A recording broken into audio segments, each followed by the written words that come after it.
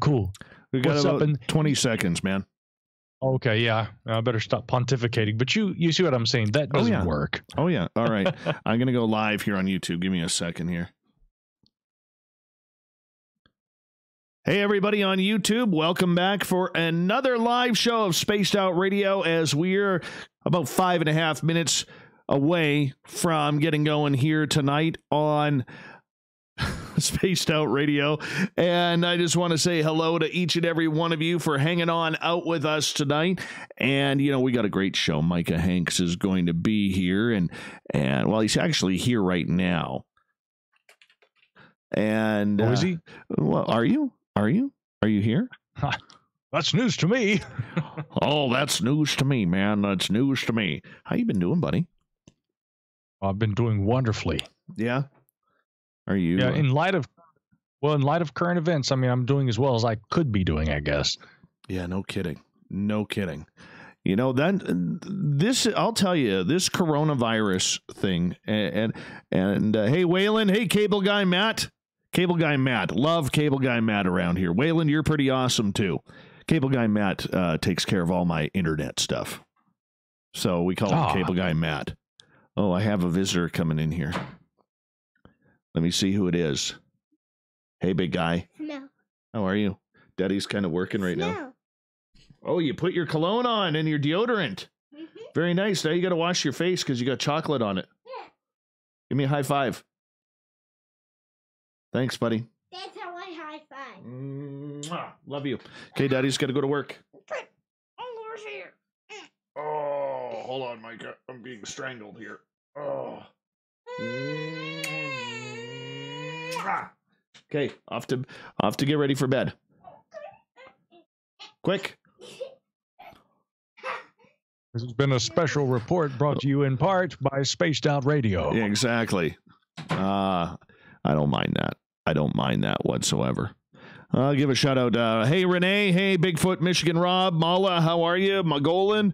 Derek, how are you all? Thank you for joining us. We are about three minutes away from getting things going here on Spaced Out Radio. Micah Hanks, the lovely and talented, with us again. The man who can rock a pair of Ray-Bans like anybody else.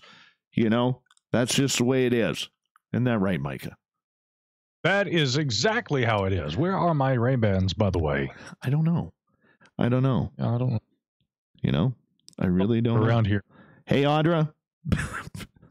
Bill WD40, how are you? Poetically mistaken. Good to see you again. All right. Um, Micah, See, now- you you know what? We've only believe it or not, people. Micah and I have only had like three conversations previous to this, and one was uh, the first time he was on this show, and the phone call beforehand. So this is like conversation number four that we're having right now. And I'll tell you, Micah, you you make me laugh. I don't know what the hell it is, but you just make me laugh, and I appreciate that, man. Whatever that is, I appreciate it too. Powdered donuts make me go nuts. Oh, But anyway, yeah, yeah. exactly, exactly. Yeah. Now I'm worried about those Ray Bans. You know, it's going to be hard for me to complete my uh my my my guest duties without the proper eye gear. I gear. know. I know. Are you are you okay? I do my Are you okay though? yeah. I'll be okay. I'll be All okay. right. Yeah. I'm not Orbison. Yeah. I just prefer working in the dark, I guess. Oh, you know I'm what? in the dark most of the time. You know what? There is something to be said, honestly, about working at night that is just so much better. I love working at night. I really do. yeah. There's that that ambiance of the evening. Very different kind of productivity than than daytime. Oh, I'll say that. Huge. Huge. Do you find you get more done at, at, at night than in daytime?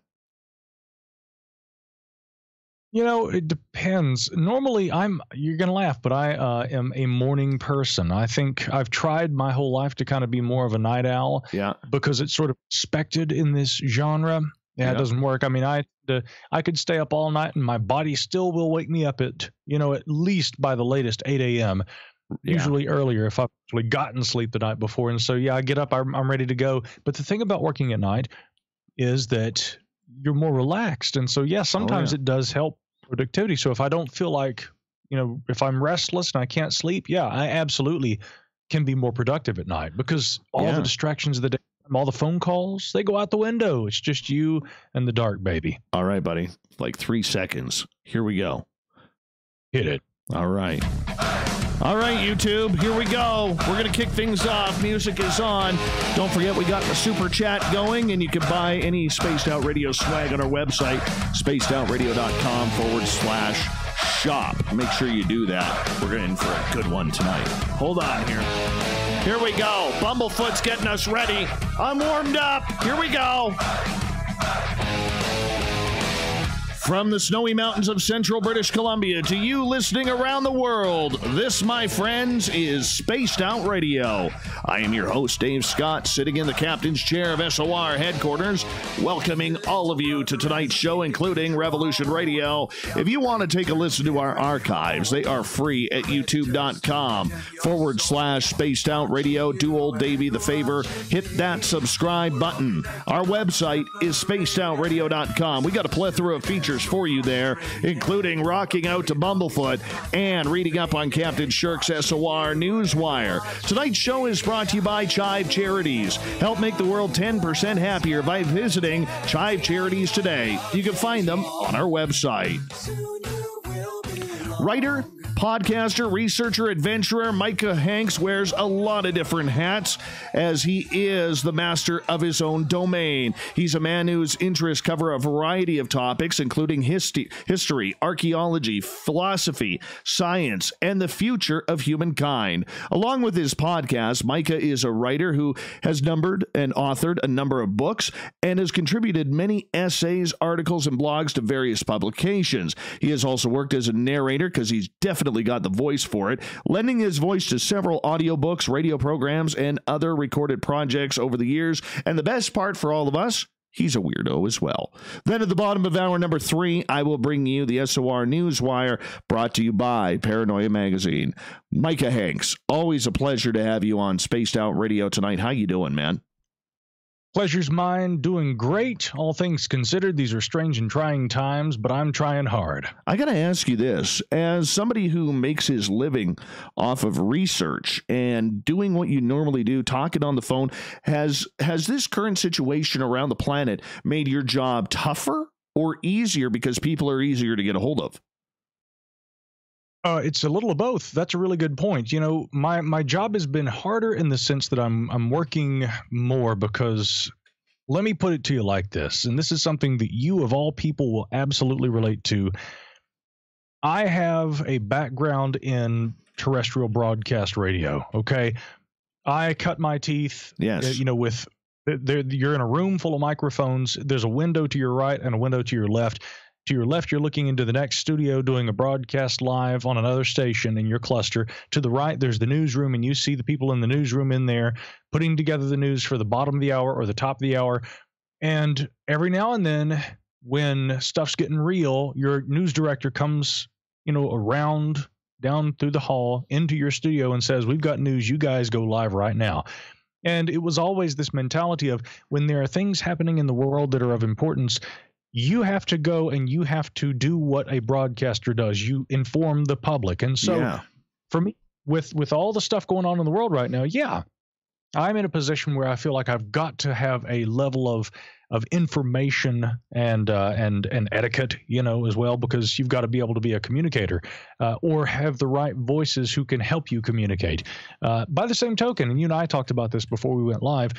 Uh, we also, as entertainers, you know, in the podcasting and the radio genre, we want to be able to provide that escape for people.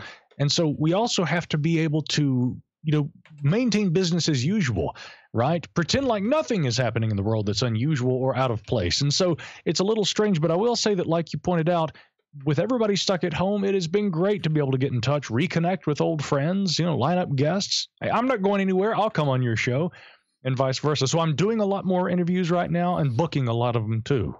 You know, it always reminds me. I mean, you being a, radio guy, me being a radio guy, you, when when you are in a situation like we are right now on this planet, a lot of people won't understand this unless you've done it. But there's no place that I would rather be right now than in my old newsroom, helping out, finding stories, creating stories, telling the events that are going on. A, there's something of a rush on that. Now, you know, I mean, not to bring up a, a morbid topic here, but, you know, I remember working in the newsroom the day 9 11 happened. And as Yeah. scary and as freaky as that was, I felt safe being in the newsroom and getting the helping get those stories out. Were you pretty much the same way? Yeah, I think so. Uh, I didn't work in radio when 9/11 happened. Uh, you know, I'm a youngling, right? Uh, fairly new to the Jedi. I was. This is no joke. I was. Um, in when yeah okay in 2001 when 9/11 happened, I had just graduated from high school, and so I think I was working in like a T-shirt shop in the local mall.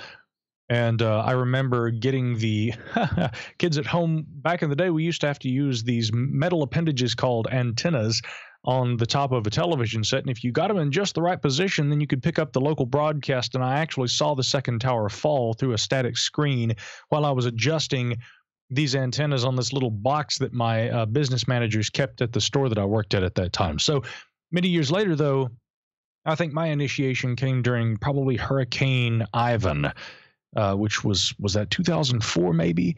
Uh, i think thereabouts. Anyway a number of years later yeah i'm in there and we're doing emergency management. I've got you know local uh, coordinators you know and emergency management personnel. I've got our congressmen and women on the telephone local law enforcement. It was like a real whoa Oh, wake yeah. up. There's a whole world out there waiting when you know the fecal matter hits the spinning turbine so to speak right?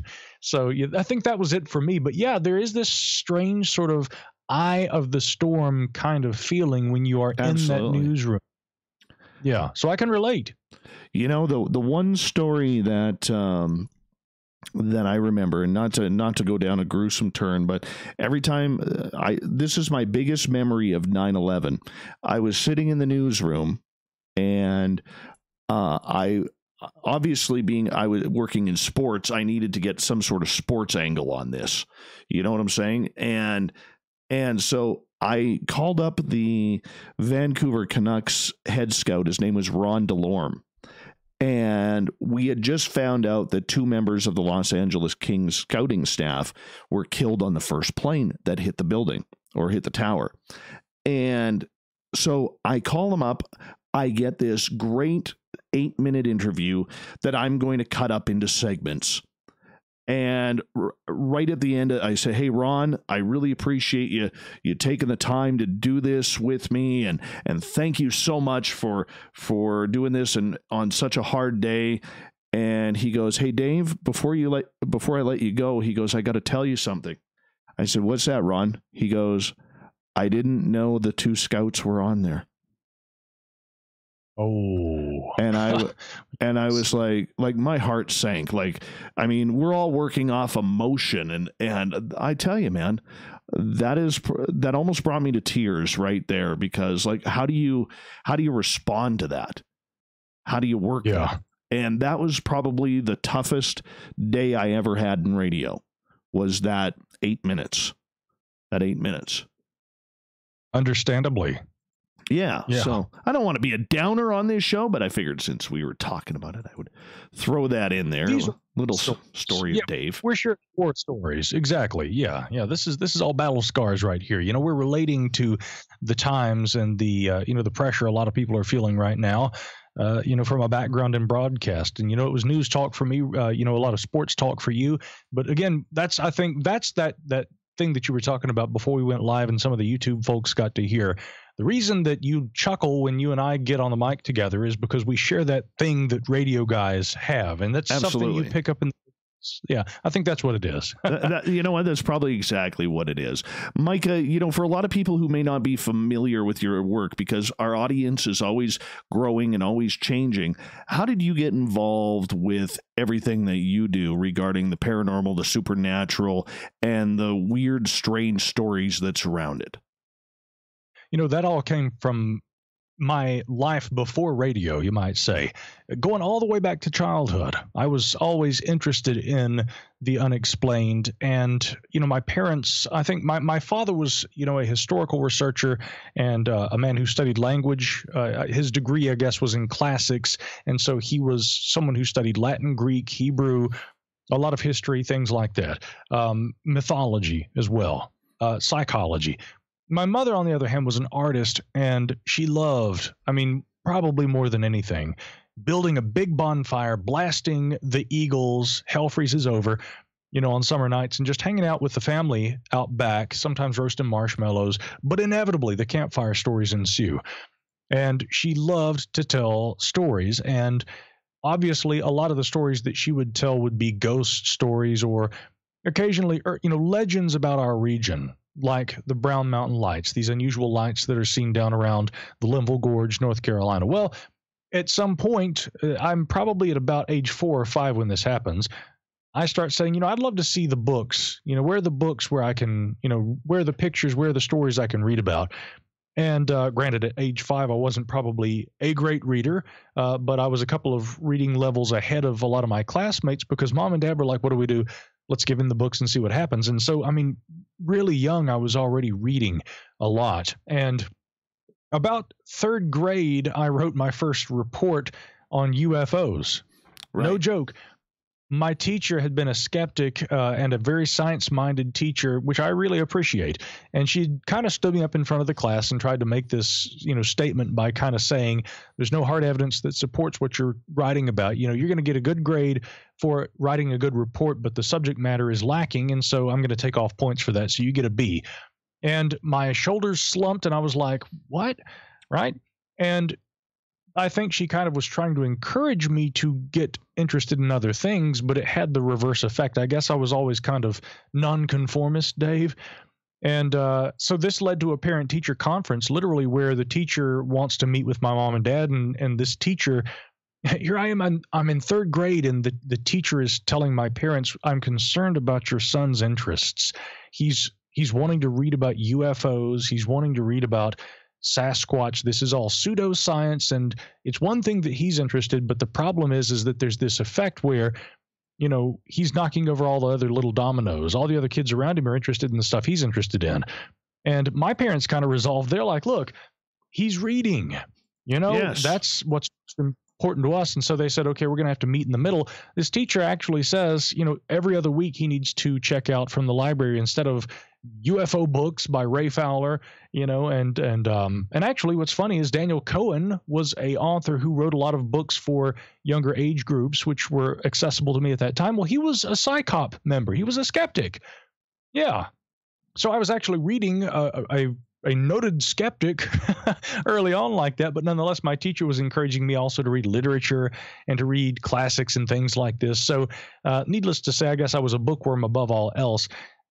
I don't think my parents ever would have thought that that early introduction to those subjects and their willingness to allow me to read those things without fear of what kind of worldview it would shape would put me on this path where even before I worked professionally in radio, I'd begun to write articles and conduct research, and I was publishing in magazines like New Dawn and uh, Fate magazine. Uh, you know, a lot of these uh, classic fringe publications, if you will, Fate having been in publication since 1948, and really uh, kind of launching in response to the 1947 appearance on the cultural landscape of so called flying saucers, later redubbed UFOs by Edward Ruppelt, uh, the first head of Project Blue Book. So, you know, these kinds of publications that have had a lasting uh, role in the history of the development of ideas in relation to the unexplained. I, I went there first. And then, about that time, of course, in the early 2000s, blogs were becoming a thing. And so I launched a website called the Gralien Report. Yes. It's still available online. And uh, the rest is kind of history. That's really where it kind of uh, began to uh, kind of gain traction. And um, yeah, so it's funny because I then go to work in radio. Uh, I produced a radio program that was hosted by Joshua P. Warren for a little while, maintained this interest. But as time has gone on, I've always tried to continue to become more scientifically minded and to always temper my interests with a fair amount of skepticism. So I got to thank my third grade teacher. I think that she was a good influence, all things considered. you know what? I, w- I want to focus a lot on UFOs and the history about them tonight, uh, at least in the first part here, because I think there is a, a lot of intrigue around this. And I don't know if it's just me or maybe it's you, and we'll, we'll start to get heavy into it, you know, right now as we uh, approach the bottom of the hour in about eight minutes here. But do you feel that the history of ufology over the last two years has taken a real hit to the study of it, considering what we've seen happening with the last couple of years, whether it's the To the Stars Academy, whether it's it's people uh, coming out from the U.S. Navy and the videos and the government, you know, talking about it. And thank goodness for the government. I'm sure the Pentagon and all the rest are saying, thank goodness coronavirus happened because now we don't have to talk about this anymore. Those crazy tinfoilers will go back in their closet where they belong. You know, uh, it's funny. You, you point out something that I think you and I actually touched on uh, before we got on the mic here, uh, which is that with all of the concern about the current state of affairs in relation to coronavirus and whatnot, I had said to you it's important that as researchers we not lose sight of of that and that some of the momentum, I guess, that has been built over the last couple of years not be lost in relation to greater concerns over more timely things more pressing issues. And these are pressing. These are potentially life threatening, but in most cases, we know they aren't going to be. But about UFOs, I would say this to understand, and again, going all the way back to my early influences, uh, my father being a, a, uh, researcher both in history and also in what we might call classics, but also a scholar of language. Um, and and actually a person who spoke and who can translate uh, from numerous languages. I'm interested in the the cultural perspective and the global perspective on this phenomena. Uh, the historical perspective uh, is something that is fundamentally important because when we're talking about a subject like UFOs, again, when I say UFO, most people immediately think of a flying saucer, the classic disc shaped saucer. And with that, there are certain stigmas that are attached. Not everyone will do this, but I would argue that probably the majority of people, again, if we say UFO, they envision a classic flying saucer and they kind of attach to that, Dave, the idea of, well, we are talking about alien visitors from outer space. Now, that is a common attitude toward UFOs. Yes. Uh, it is an interpretation of them. And there are valid reasons, I think, why many people would view this extraterrestrial interpretation of UFOs as being a valid hypothesis and perhaps also the most likely one. But in terms of what we actually know, putting hypotheses and speculation aside, in terms of what we actually know, we know that humans, since time immemorial, have claimed to observe things in the sky when and if they cannot you know identify these they project ideas onto them. And there's a rich history of that, which is not UFO research as we know it since 1947. Uh, but nonetheless, I think that to look back into time and see the way that, you know, since literal history began, you know, recorded history where humans began to utilize written language and document events, and uh, and we begin to have a record of things that occur throughout the passing of time it is interesting that we see a component similar to modern ufology where people do see things in the sky. Of course, we can identify many of them now. There are some fantastic researchers like Chris Aubeck and others who are utilizing, uh, for instance, uh, modern astronomical uh, programs, computer programs that help us to look back in time and we can spot when someone in a certain part of the world on a certain date describes seeing something in the sky, we can actually determine celestially what some of those things were and rule out certain natural phenomena.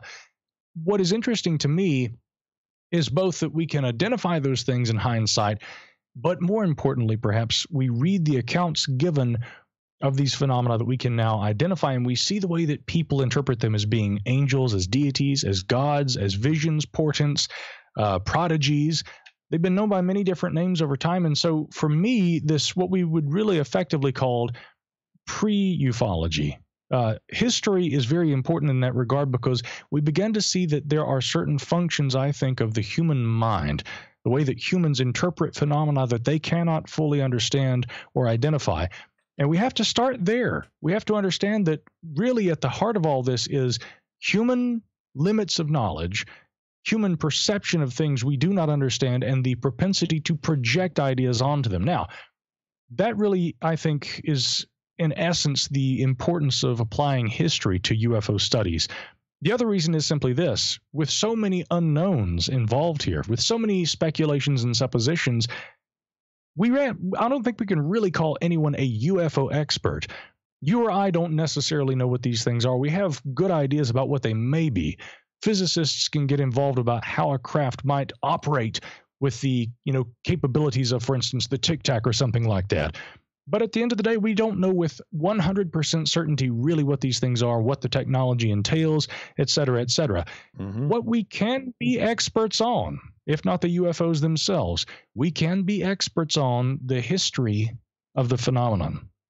And so that's where I'm trying to lay the focus of my research these days is understanding both the history, the documented events Yes. that constitute the history, and then also understanding human perception of that phenomena uh, going back through time.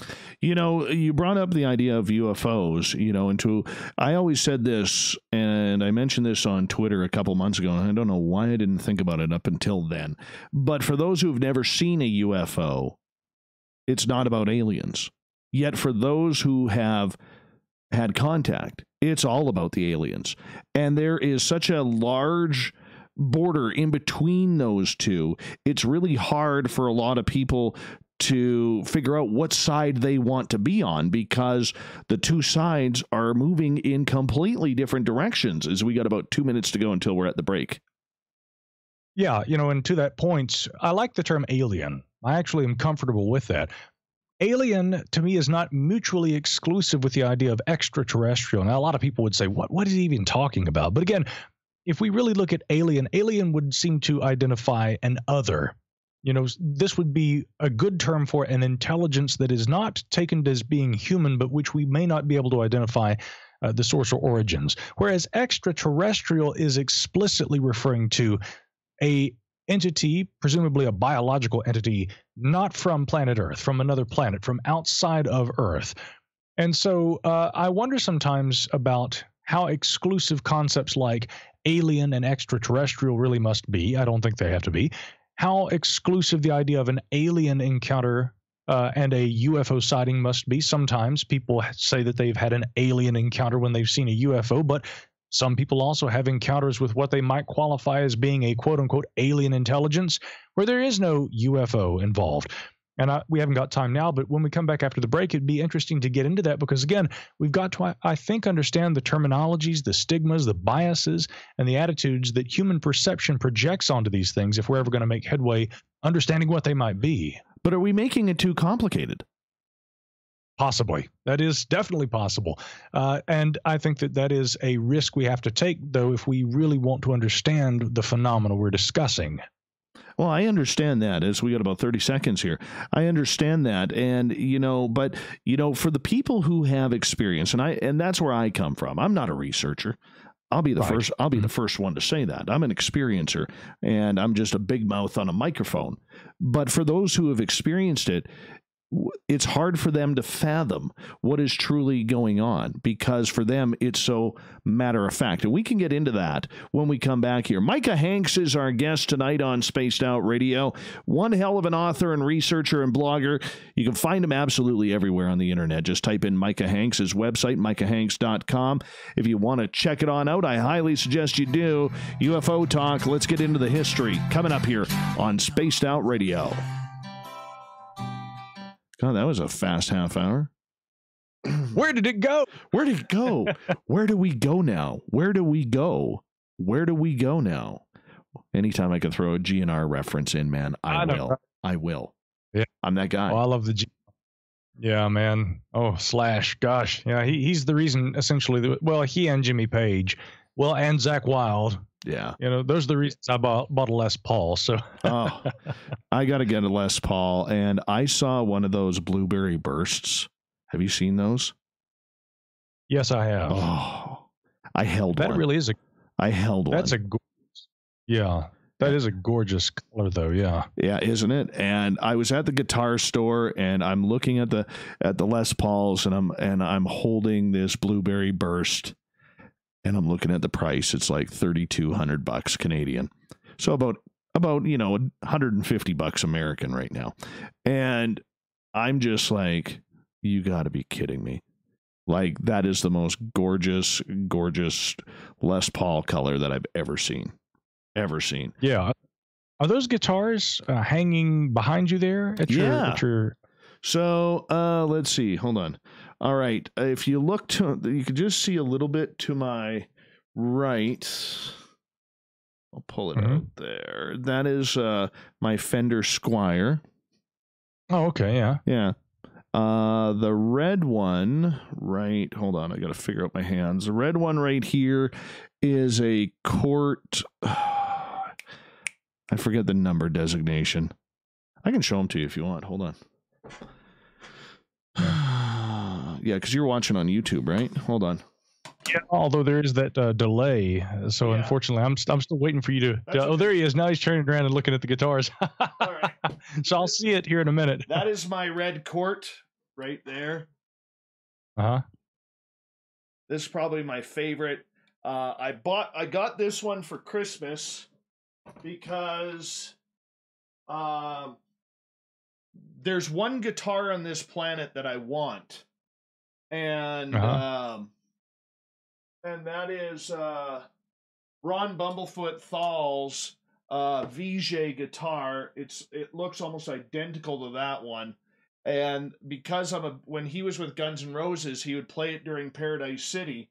So I, Right. uh, you know, considering my favorite song is Paradise City, I uh, Mhm. wanted uh, him to uh, him to uh, uh, I want to get it off of him, and he said I could have it, you know, but you know I got to pay for it, right? This is my Uh-huh. uh, Les Paul knockoff. It's a it's a Jay Turser hmm right there, the black one. Okay, yeah. And the only thing I don't like about that one is I got smaller hands and it's real difficult uh, to get to the upper strings. And then there is Ah. my Fender Squier that I picked up at a pawn shop for a hundred bucks for my son to beat up. Uh huh. Everybody's got to have one of those, right? Yeah, exactly. but I'm not a big fan of Fender guitars. That's just me. You know, but uh I'm not good enough to be able to tell the, the sound difference between guitars. I just know I just know what I like. Yeah. Yeah, I started off on a Strat and then I became a Les Paul guy and then I recently rewired my Stratocaster and it ruined me because I'm like, oh my gosh, no, I love this Stratocaster again and I, I Yeah. just can't put it down. Yeah. so, yeah, that's pretty much where I'm at, man. Yeah. I actually love the color of that uh, Squier though, uh, Yeah. that sunburst. Yeah. Yeah, that Yeah. one's really nice. I need to get a a new white piece for it, like the guard.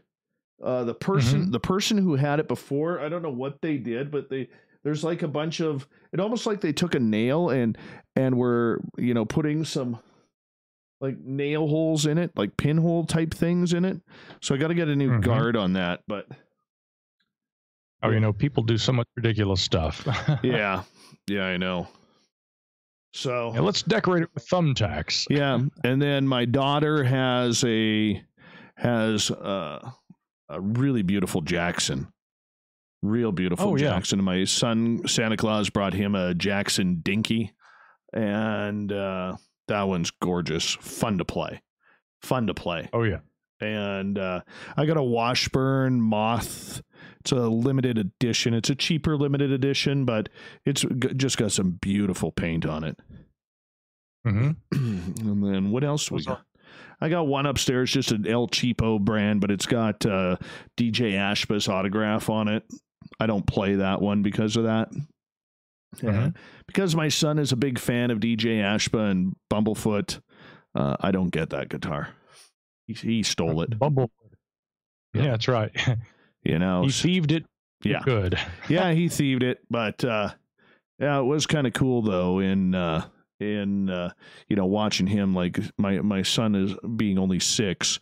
I, I put a uh, a guitar strap on his little dinky, and all of a sudden, uh, you know, I'll go into his bedroom and he'll and he'll just have his his amplif he's got my amplifier up in his room and he's just hammering away and he's making up lyrics to songs and he doesn't know any chords yet but he's what he's doing is he's really starting to practice with tones and okay well what happens when i press this string down here or or the second string or the third string? And that's what he's doing and uh you know and he's just loving it. So that's kind of what what uh um what we've been doing. I, i'm going to get him into lessons you know, I was going to put him in lessons this spring, but due to the current situation, that's obviously not going to work. So we'll see where it goes. Hey, one, give me one second here because we're just about 20 seconds away here. Hey, Sure. every- hey, everybody on YouTube. Hope you're enjoying the intermission break, listening to Micah and I just BS our way through guitars. Yeah. Yeah, it's a lot of fun. Want to remind you that the super chat is open, and a great way to support what we do on this show is to head to our website, spacedoutradio.com, join the Space Travelers, or do a little shopping at the SOR Vault. Grab yourself a t shirt. But don't forget, give us a thumbs up as well. Thank you so much, and hit that subscribe button if you're new. Here we go. Hour number, or the second half hour of hour one. Here we go. Close enough. Welcome back to the second half hour of Spaced Out Radio tonight. I am your host, Dave Scott, sitting in the captain's chair of SOR headquarters. Great to have you along for the ride tonight. Want to remind all of you if you missed portions of this show or others, you can check out our free archives at youtube.com forward slash spaced out radio. Just do me the favor, hit that subscribe button. Our website is spacedoutradio.com, where we have a plethora of features for you, including rocking out to Bumblefoot and keeping up to date on the news with Captain Shirk's SOR Newswire. Micah Hanks is our guest tonight on Spaced Out Radio. He's an accomplished author, blogger, podcast host. This guy has done it all in the paranormal UFO field, and we're talking UFOs with him tonight. His website, micahhanks.com, if you want to check it on out. Welcome back, my friend. Oh, good to be here. Now, right before the break, we were talking about ET contact and how, you know, for the experiencer, the science doesn't matter. The the current situation with UFOs does not matter because they don't need convincing. They don't need to try and uh, put a line in between UFOs and what has happened to them. Where do we find that balance in the research, even going back in history? Is there a balance where the two sides can come together? I certainly think that there is. I was uh, recently rereading uh, some of J. Allen Hynek's work, and I periodically will do that. You know, there are a lot of scientifically minded, uh, and actually, in the case of someone like Hynek, who had been the uh, you know Northwestern University uh, astronomer, but also the professor who was the actual consultant and science advisor to Project Blue Book under the U.S. Air Force. You know, when we've got someone like Hynek, he was a scientist in practice as well as a science minded advocate for UFO research. But if you go back and you read books like the Hynek UFO Report, uh, where he takes some of the notable Blue Book files and kind of breaks these reports down, and in addition to featuring the actual content of the Blue Book reports, he is giving the commentary of not only at times his own uh, estimations of what's going on and his own advice that he provides the Air Force on these cases, sometimes his firsthand investigations of some of them. But he's also retrospectively, many years later, because this book's written in the mid 70s, which is a few years after the Condon Committee report uh, by the University of Colorado UFO Project in 1968 or so. And then, of course, almost directly coinciding with the issuance of that report, the U.S. Air Force closes Project Blue Book. So a few years after the fact, Hynek is giving his retrospectives and noting how a lot of his perspectives have changed. Now, in that book, there are a lot of very interesting and famous UFO reports. And he also has chapters devoted to things like the close encounters of the third kind, where not only do we have a close encounter with a landed UFO craft, but apparent occupants are visible. And it's and it's not always actually a landed craft. Uh, there are notable examples of a craft that's still airborne, but the occupants are visible. Uh, the one that comes to mind here is, of course, the 1959 Papua New Guinea incident involving uh, Father uh, William Gill, who, along with around 30 other people, observed these disc-shaped aircraft hovering over the mission there uh, on the island where they were, and seeing people, what they described as looking like people, leaning over the edge of the craft, and they would actually wave at them. And at one point, at least, the uh, individual on board this sort of hovering platform, this flying disc, as he's leaning over, he waves back at them. And Father Gillard said, by all intents and purposes, these people, well, they looked like people to me. And I thought that they were probably uh, Americans. He said, I thought that this was a new technology of you Americans and that they would land and come down and we'd all have dinner together, but they never did. So the point is, at various times, Hynek says, you know, some of these cases very much sound like a real flesh and blood, tangible phenomena where there's an aircraft and there are individuals, often but not always described as resembling humans. And then there are some of these cases that are a little stranger and the occupants are a little bit less human. And Hynek says, you know, I have no doubt that these kinds of CE3s or close encounters of the third kind uh, represent a experience that the observer thought was real. But he says, I wonder, however, what element or what you know stage of reality these actually occupy is this a reality as we know it in in this three-dimensional world in which we occupy where if i'm walking down the street and one of these craft has landed and the occupant is standing there i will perceive this and see this and have this experience the same way that you would dave or that anyone else would or someone in the chat room would if we're both there together, do we see the same thing?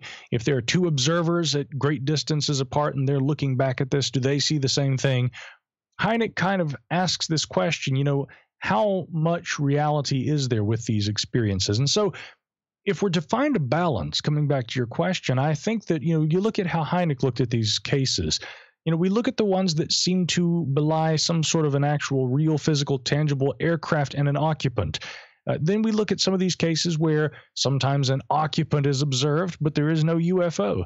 Is it right to call that a UFO case or a close encounter? Uh, you know, sometimes a UFO is seen, but there is no occupant. Does that always mean that it's an actual tangible aircraft? Sometimes these so the so-called nocturnal lights, as Hynek called them, don't have any kind of uh, you know appearance of any kind of a physical or structured craft at all. It's just a very amorphous light. And so, yet again, one of the issues we are facing with UFO research is that that term UFO is intentionally ambiguous and it can mean an awful lot of things. When we're talking about the contact experience, you know, how many of these experiences actually involve a UFO, whatever that means. And you begin to kind of realize once you look back at the Blue Book files and you look at the scientific attempts by Hynek and others to quantify and to even institute terminology that we can use to relate to this phenomenon. And you begin to recognize that a lot of people who talk about UFOs, uh, irrespective of one another, mean entirely different things when they're talking about it. So we have to find common ground and we have to actually first agree on what we mean when we're talking about a close encounter or an occupant. You know, what level of reality this is supposed to occupy. And if there are differences and distinctions, we need to identify those where those exist too finding the common ground can be difficult, but I do think it can be done, but it requires, again, using common language first. Micah, I understand that. And, you know, for those who are are really, really pushing the grounds of look, I know what I saw, I know what I've experienced, and, and, you've heard all the stories, we've heard all the stories. It doesn't matter what kind of contact they had, they are convinced that the two are always tied together. And I realize that, you know, the the, the attitude and the education of it all, it has to be split it really does have to be split in order for us to try and figure out what is truly going on. But for the researcher, the mindset is different comparatively to the emotional connection that the the the experiencer has. Are we are the let me ask it this way. Is the experiencer having too much emotion in this topic because of what may have happened to them to even be able to think clearly regarding this topic well, I don't think that it, that too much is is how I would term it. Uh, and again, I have a lot of respect for those experiencers, but I think that you know what you are touching on there is something that is very important and must be remembered by the researchers. Because like you're talking about I, you know I, I, see exactly where you're coming from. The researcher and the emotional capacity of the experience. It can be frightening. It can be sometimes you know just world shattering. Sometimes it can be inspiring uh, sometimes it can be all of those things. Many people describe after having had an experience where they meet again, let's use that term alien intelligence. They describe having a fundamental shift in worldview. They may feel as though they have become more spiritually enlightened. Uh, there is some literature that definitely suggests, however strange this may sound to a skeptic, that people actually uh, acquire not only different perspectives on reality, but maybe also relate to it differently. For instance, the manifestation of alleged psychic phenomena, things like this. Uh, I don't think personally that those kinds of things, however skeptical a nuts and bolts UFO researcher may be, I don't think those things should be ruled out of hand and dis, you know, just just completely uh, discounted because they don't seem to fit the paradigm within the uh, within which the UFO researcher may operate. And that seems to be one of the problems with UFO research. I mean, I try my best at times to look at this very tangibly, very nuts and bolts too. But the trend you see, especially since 2017, is that there are a lot of researchers, I think, um, some of them actually good friends of mine, who they see the New York Times article by Leslie Kean. And speaking in terms of recent history, people talk about that article and how impactful it was. But I mean, you know, Leslie in August, or I'm sorry, no, October uh, of that same year, so a couple of months prior to the big New York Times piece in 2017, she had written an article one day after Lou Elizondo had left the Advanced Aerospace Threat and Identification Program and and also his other duties at the Pentagon she'd written a piece for the Huffington Post talking about we got big news on the horizon. Uh, she's talking to Lou Elizondo. She's reporting the fact that he had worked for a threat identification program at that time. So I'm merely pointing out because I should as a historical researcher here that you know there were articles that were talking about some of these key players that have become the kind of it gang in UFOs that even predated that 2017 piece. I could give other examples, we'll save that for later, but you know when that article comes out and it reveals to the world of and i'm going to say this frankly a lot of people who are not really well versed in the history of developments in the field of ufo research for them the idea of government interest in this phenomenon was entirely new barring maybe having at least a cursory knowledge of things like project blue book. Well yeah back in the day way back in the day the government the air force was involved. We didn't think that the government was still doing that you know, unless they had a secret program and were hiding stuff. But now we're learning all this really neat stuff that the Pentagon uh, Pentagon was involved with, you know, et cetera, et cetera. So people get interested, and it's no time at all. You saw this, you saw all this, where people are starting to say, "Well, okay, sure, we've got these three very unique pieces of footage." Uh, you know, the Navy's kind of being wishy-washy. They say these might be theirs, then they're saying they're not. I do think our mutual colleague Tim McMillan has established uh, without any question the provenance of those videos. They do come from the Navy. Uh, I think that's been confirmed. The Raytheon company says that their technology was utilized uh, to capture those pieces of footage. The footage, again, the go fast, the gimbal. Uh, you know, these pieces of footage, they're very indistinct. They leave a lot to the imagination. But even the skeptics, I'm seeing uh, guys like Bill Nye the Science Guy going on television and saying, "Of course, there's something in that video, but that's our stuff." You know, I've known guys who worked out there, uh, you know, out there Area 51, and you know, this is our own stuff, and you know, the Air Force doesn't know what they're cooking up in this department, and the Navy doesn't know what the Air Force has got. You know, for my own part, I'm looking at these people who have not really read the history of UFO research and they're looking at this and they're looking for the simplest explanations. And that simply must be in their mind.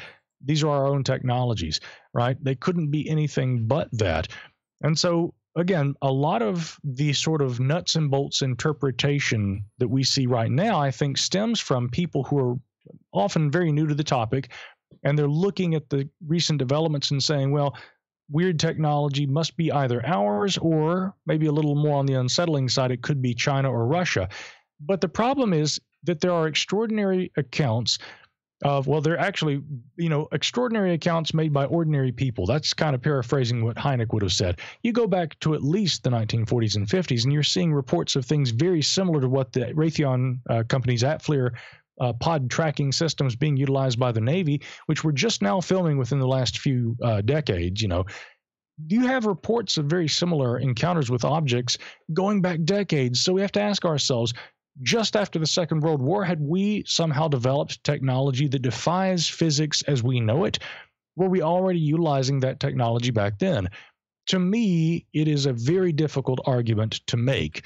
And so here again, I say that for those who are so of the nuts and bolts mind that they must look at this as being, well, something that we built. This is our own stuff and it's all a new development. If you look at the history of UFOs, you will quickly see no, people have been encountering very similar aircraft and objects for a very long time. And unless we had this stuff going back to World War II, it's very difficult to explain in conventional terms. So I think we have to look more comprehensively. And there are, Yeah. of course, we also have to see, we also have to see, and I'll just add this, you know, the claims of the encounters with the alleged occupants and those, again, for lack of a better term, those alien encounters like you Yes. were touching on. These things have to be worked into this this historical narrative for us to be able to understand or hope to understand the the big picture of what we're dealing with. Absolutely. Micah Hanks is our guest tonight on Spaced Out Radio. Micah, in regards to the history, though, this new wave of UFO researchers, they're all about TTSA. They're all about government pressure. They're all about science. They are all about, you know, getting the news out anyway. I mean, if there is a crumb of UFO news that falls out of the cookie jar, they are taking it for miles on social media. You've seen it, I've seen it a lot of people looking into this subject have seen it. However, what I'm concerned with is we're forgetting the past because the past has a lot of unanswered questions. Whether it's Roswell, Shag Harbor, Kecksburg, the Marfa Lights, Phoenix Lights, whatever it may be. There are a lot of unanswered questions from the past that we still need current answers for is this a detriment to ufology that this new wave isn't paying attention to the older uh, incidents, or is this just a sign of the times? Uh, I would go with that first one, and I'm glad that you point that out because again, I'm going to get in trouble, Dave, for saying this, but I'm going to go ahead and just put it out there. You know, sometimes a little controversy is good, right? Uh, you know, every kid who comes along these days and they read about UFOs and they think if they've got a Twitter account and a blog somewhere online, you know, and a Facebook account where they can promote what they do and what they say, you know, they think that that makes them a UFO investigator. And and frankly, there are actually some very good researchers who are looking at the UFO phenomena today and who are writing about it, you know, from an aerospace or a defense, you know, perspective or whatever, uh, who have not really read very much of the existing literature. And, you know, granted, you also go back and you read in the history of ufology. I mean, there's a lot of very credulous and dubious accounts that have made their way into otherwise very respectable uh, books on this subject. A, great example uh, by an author, by the way, that I really respect, Jacques Vallée, in his classic Anatomy of a Phenomenon.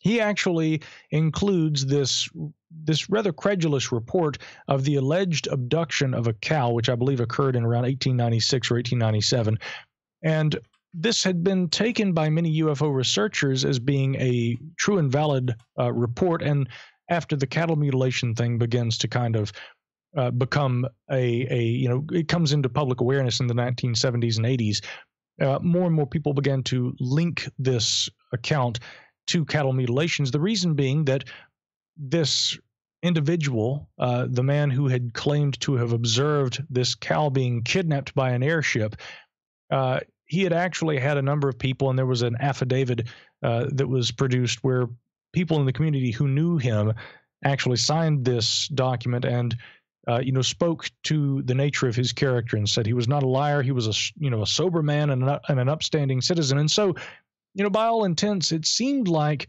you know the perfect UFO case. And here again from that pre-ufological era of the airships of the 1896 1897 wave. So you know a lot of people look at this and they think there, there might be something to this. Uh, later it turns out that this was you know almost conclusively shown to have been a hoax. And it's later acknowledged by writers. Uh, i'm sure Vallée acknowledged that at some point himself. But early on you know, before that acknowledgement before the conclusive uh, solution is brought to the table that you know and, and similar reports like that appear in books like anatomy of a phenomenon and so I bring that up not to disparage the work of researchers who I have tremendous respect for, like Jacques Vallée. It is to point out that, you know, when we look back at early writings on ufology, sure, we've got to take some of it with a grain of salt. And we also have to look at a lot of those things through the lens of what modern science can teach us. The problem is, as you correctly outline, and I'm again very glad you point this out, a lot of the people who are relatively new to the subject think that as long as I know, you know, who TTSA is and who all the key players are, as long as I've read all the articles about Lou Elizondo, you know, as long as I've read everything that's been published on UFOs in the last 10 years, I too can be an expert. Well, maybe that does teach you a lot of things. But again, the thing that so many people who are so in the here and now in their perspective on this topic seem to miss is the continuity between modern reports and the alleged technologies that they entail. And reports that began to really be documented immediately after the Second World War. Now, people often talk about Kenneth Arnold and flying saucers emerging, you know, in 1947. And right around that same time, we have the alleged crash of a disc out there at Roswell, New Mexico, and all this. But there were very interesting and very, very uh, intriguing reports that predated 1947.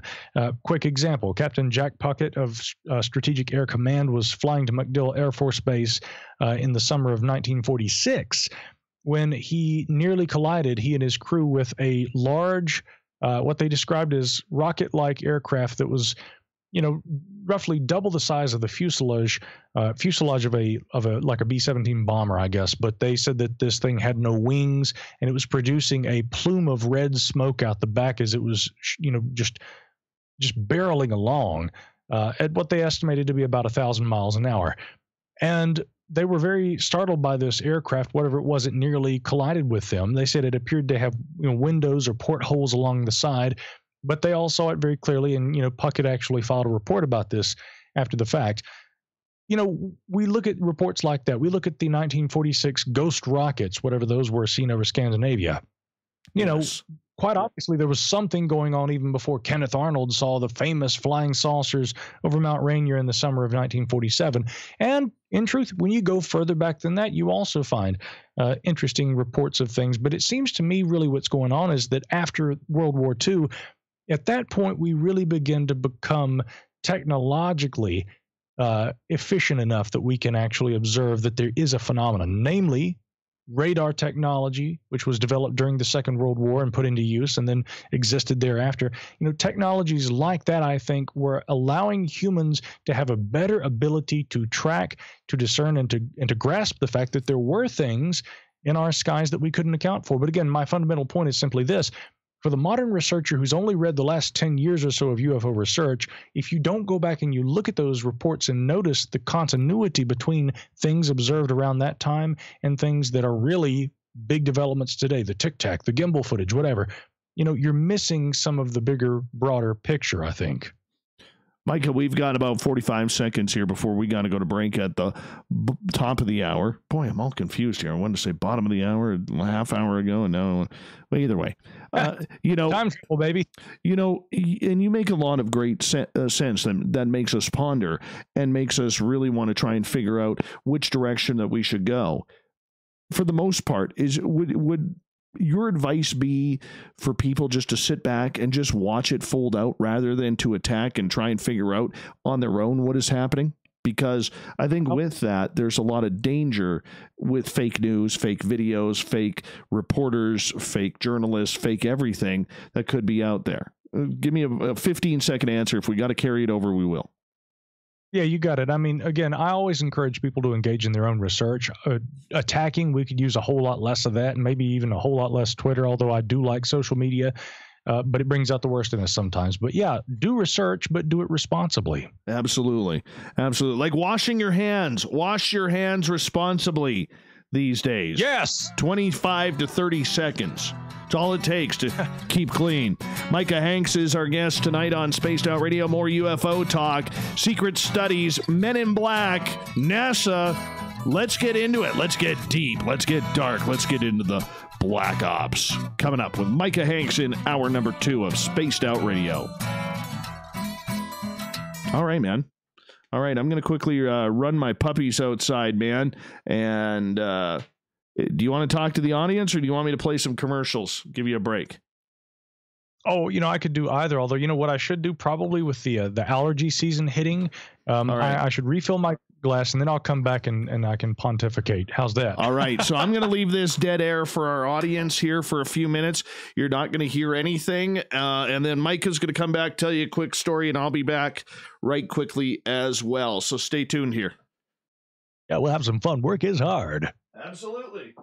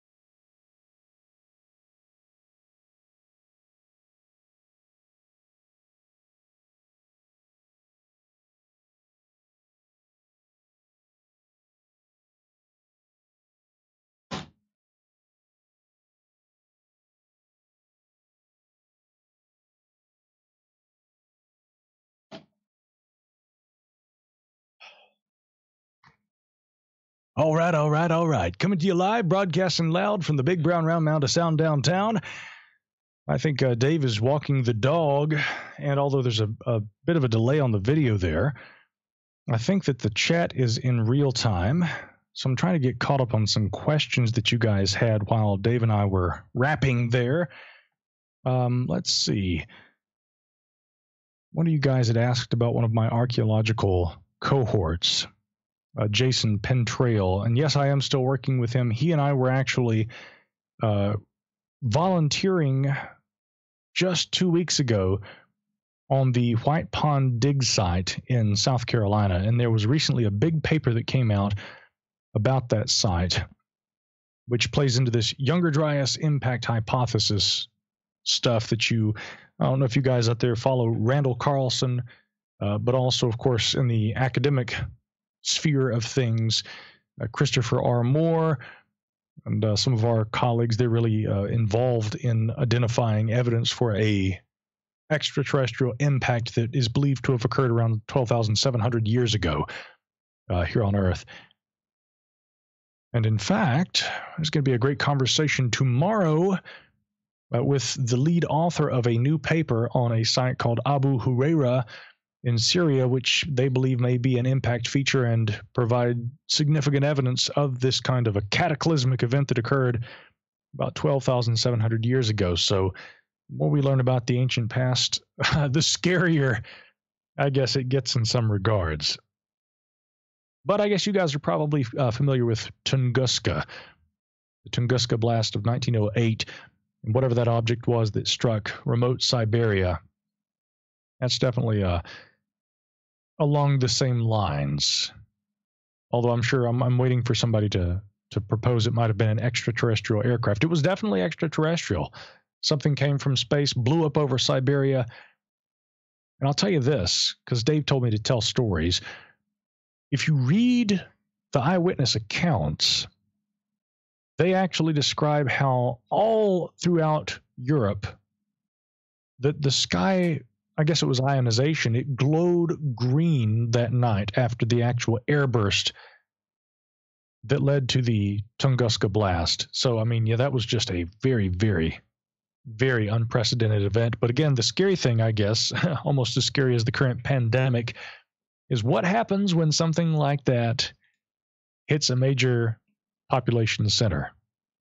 Will we be able to offset it? Will we be able to stop the next Tunguska or the next Younger Dryas impact? Oh, that's scary, man. Scary. Welcome back, sir. Hey, thanks, man. Thank you. Yes, indeed.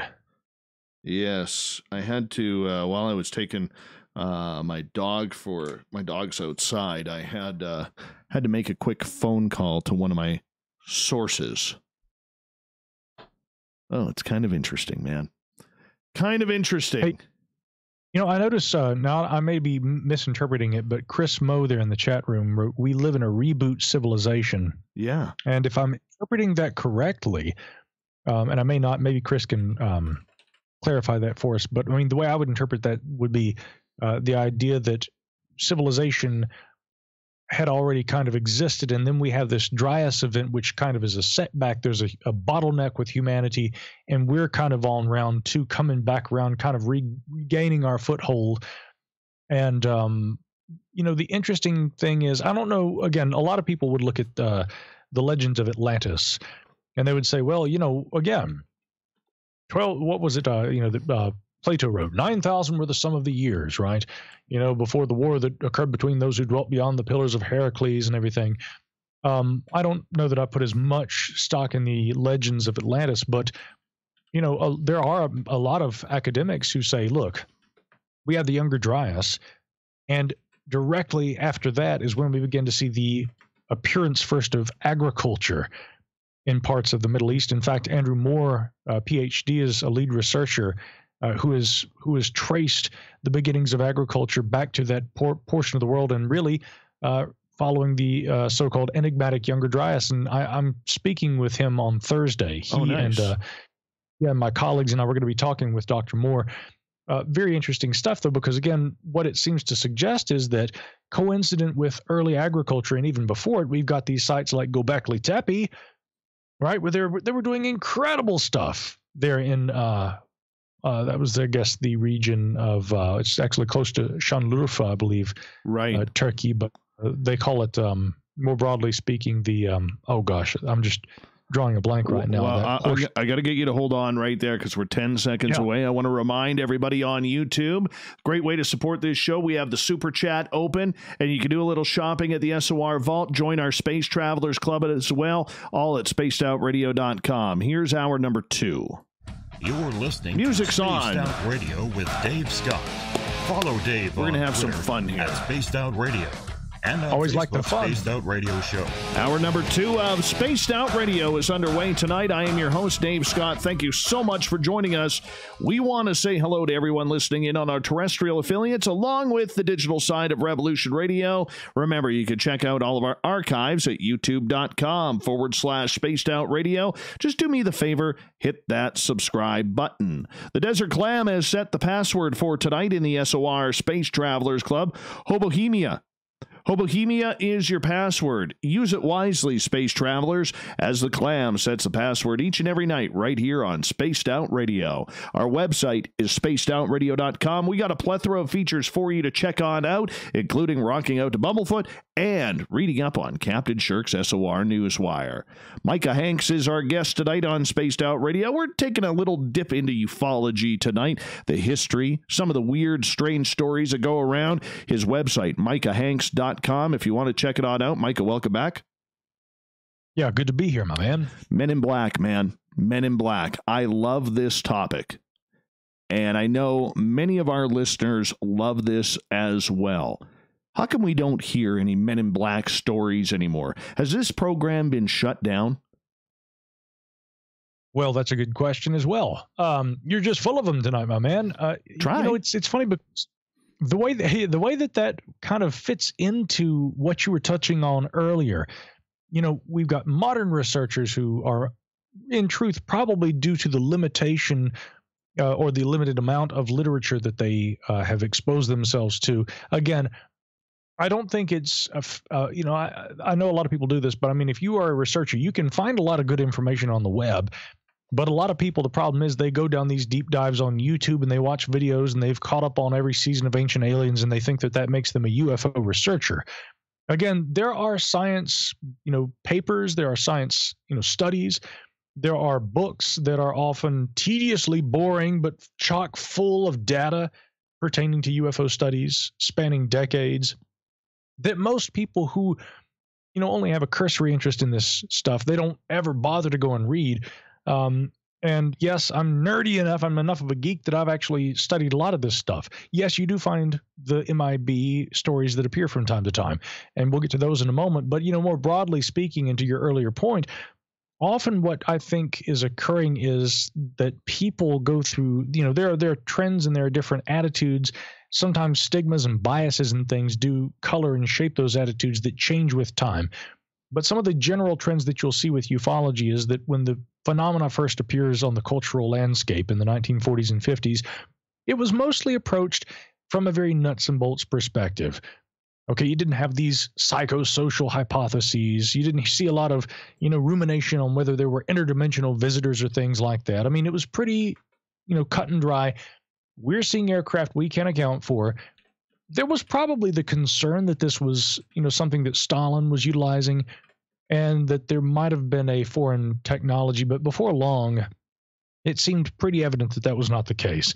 And of course, under Project Sign, an earlier predecessor to Project Blue Book under the U.S. Air Force, there was this famous estimate of the situation which was produced. No copies exist. They were all ordered to be destroyed because essentially top brass at the time didn't like the conclusion, which was, you guessed it, we can't account for what these technologies are. It is very likely to us that they may be extraterrestrial craft.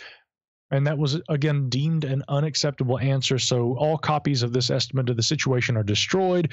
Uh, Project Sign is followed by another successor, Project uh, Project Grudge, and then of course we've got Project Blue Book, which comes into effect, which lasts up until the late 1960s. Now it's during that period that some UFO witnesses begin to describe claiming not only to see unusual craft, but also they receive afterward visits from men in various different kinds of garb, but often traditionally they're described as wearing all black.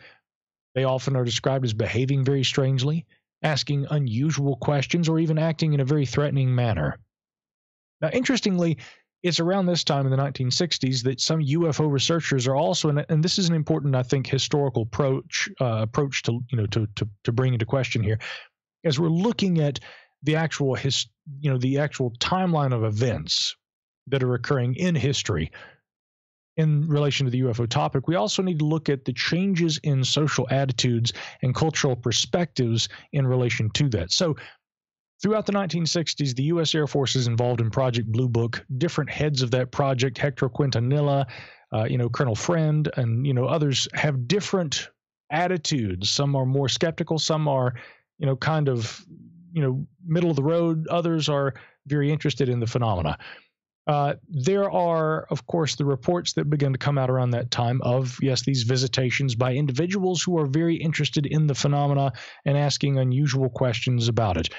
And then you're also seeing in the UFO research community, outside of government, outside of civilians who happen to see these things and have encounters with men in black, you have a, a research community that is beginning to get fed up. They're starting to say, look, okay, great. Okay, extraterrestrial visitors, maybe they're canvassing our planet. Maybe, you know, in their alien way, they're gathering information and they're doing studies that we don't fully understand. But as Jacques Vallée and others began to really ask, they said, how long does it take them to complete their survey of Earth? You know, a lot of the data seems to, you know, smack in the face of this idea of alien visitors, scientists from other worlds conducting a survey of our planet. And then we begin to see these alternative theories emerge. You know, Jacques Vallée writes a landmark book, Passport to Magonia, that really never says what he thinks the phenomena is. It simply challenges the extraterrestrial hypothesis. Uh, John Keel with Operation Trojan Horse starts doing kind of the same thing. He starts saying, look, maybe not all things as we see them are as they appear to be. Then we start seeing in, in mostly Britain, but also throughout other parts of Europe, this psychosocial attitude that really the sum total of the UFO phenomena should be explored through the lens of, well, what humans think they're experiencing. It has less to do with what the objects may or may not be, or even if they exist. Let's look at the human perception angle. What does all this have to do with with the men in black? Well, after going through this kind of this enlightenment era, if you will, where UFOs and all these different theories of origins, you know, come to light in the 60s and 70s and lasting up to the 80s, and then we see this really hardcore kind of abduction emphasis throughout the 80s and 90s with the publication of books by Whitley Strieber and, of course, Bud Hopkins. we've kind of gotten to this postmodern era of ufology, I guess. Uh, I guess these days where we've kind of come back around to being very nuts and bolts in our interpretations. You don't see as many of these Men in Black reports. You don't see as many far out UFO reports at all these days. And those who do look at the phenomenon are almost exclusively treating it like they did right after the Second World War. You know, looking at the possibility that maybe extraterrestrial visitation is coming along, but it seems almost like it's unacceptable to look at uh, abductions, men in black reports, things like that. So, as far as why we don't see as many of them anymore today, these cultural trends that come and go, I mean, you have to identify those in the history of ufology. And we're in another of these sorts of nuts and bolts phases, I think, where people are dismissive of things that fall outside of simple, uh, plain observations of weird stuff in the sky. Now, quite obviously, we look back, and I want to give a good example here. In his book, The Mothman Prophecies, John Keel tells in one of the early chapters about a woman who is visited by a man. He's not wearing black, he's wearing just a plain clothes suit. He's got brand new shoes. She said that the leather on the bottom of the shoes wasn't even scuffed, and he's driving a Ford Mustang. This guy shows up and he says he's with the U.S. Air Force and he's investigating this UFO incident and this woman and her sighting and all of this. And he even gives her name, which is reported in the book. He says his name is Richard French.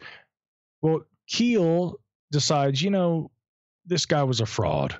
Like all these other frauds, these strange, you know, weirdos, these men in black that appear, none of them are really who they say they are. Some of them say they're UFO researchers, some say that they are government agents. Well, lo and behold, a few years ago, you remember, Dave, the uh, citizens' hearing on UFO disclosure that was held by Stephen Bassett down there yes. in Washington. Yes, right? very much so. Richard French shows up there and he's now retired, but he had actually worked. And of course, we have all the documentation that shows that he is who he says he was. Some of his claims that he makes and things that he claims he witnessed are a little strange, but we do absolutely know that he worked for the U.S. Air Force and had been a Blue Book investigator at the time that Keel wrote about the events in question. Uh, under the Office of Special Investigations. And so, I mean, he is who he said he was. He's mentioned my name in that book. And I've actually had researchers say, well, how do you know it was the same Richard French? I guess I couldn't prove it, but I mean, it seems pretty evident to me that we're talking about the same guy. He probably, that Men in Black case probably can be explained as an actual Blue Book investigator who had been uh, inquiring about a UFO sighting. Um, so I think that some of the Men in Black cases relative to that period, you know, they coincide with the, the, the Blue Book era but blue book reporters or, or investigators are not going to be going to the homes of witnesses and threatening them and saying you didn't see anything.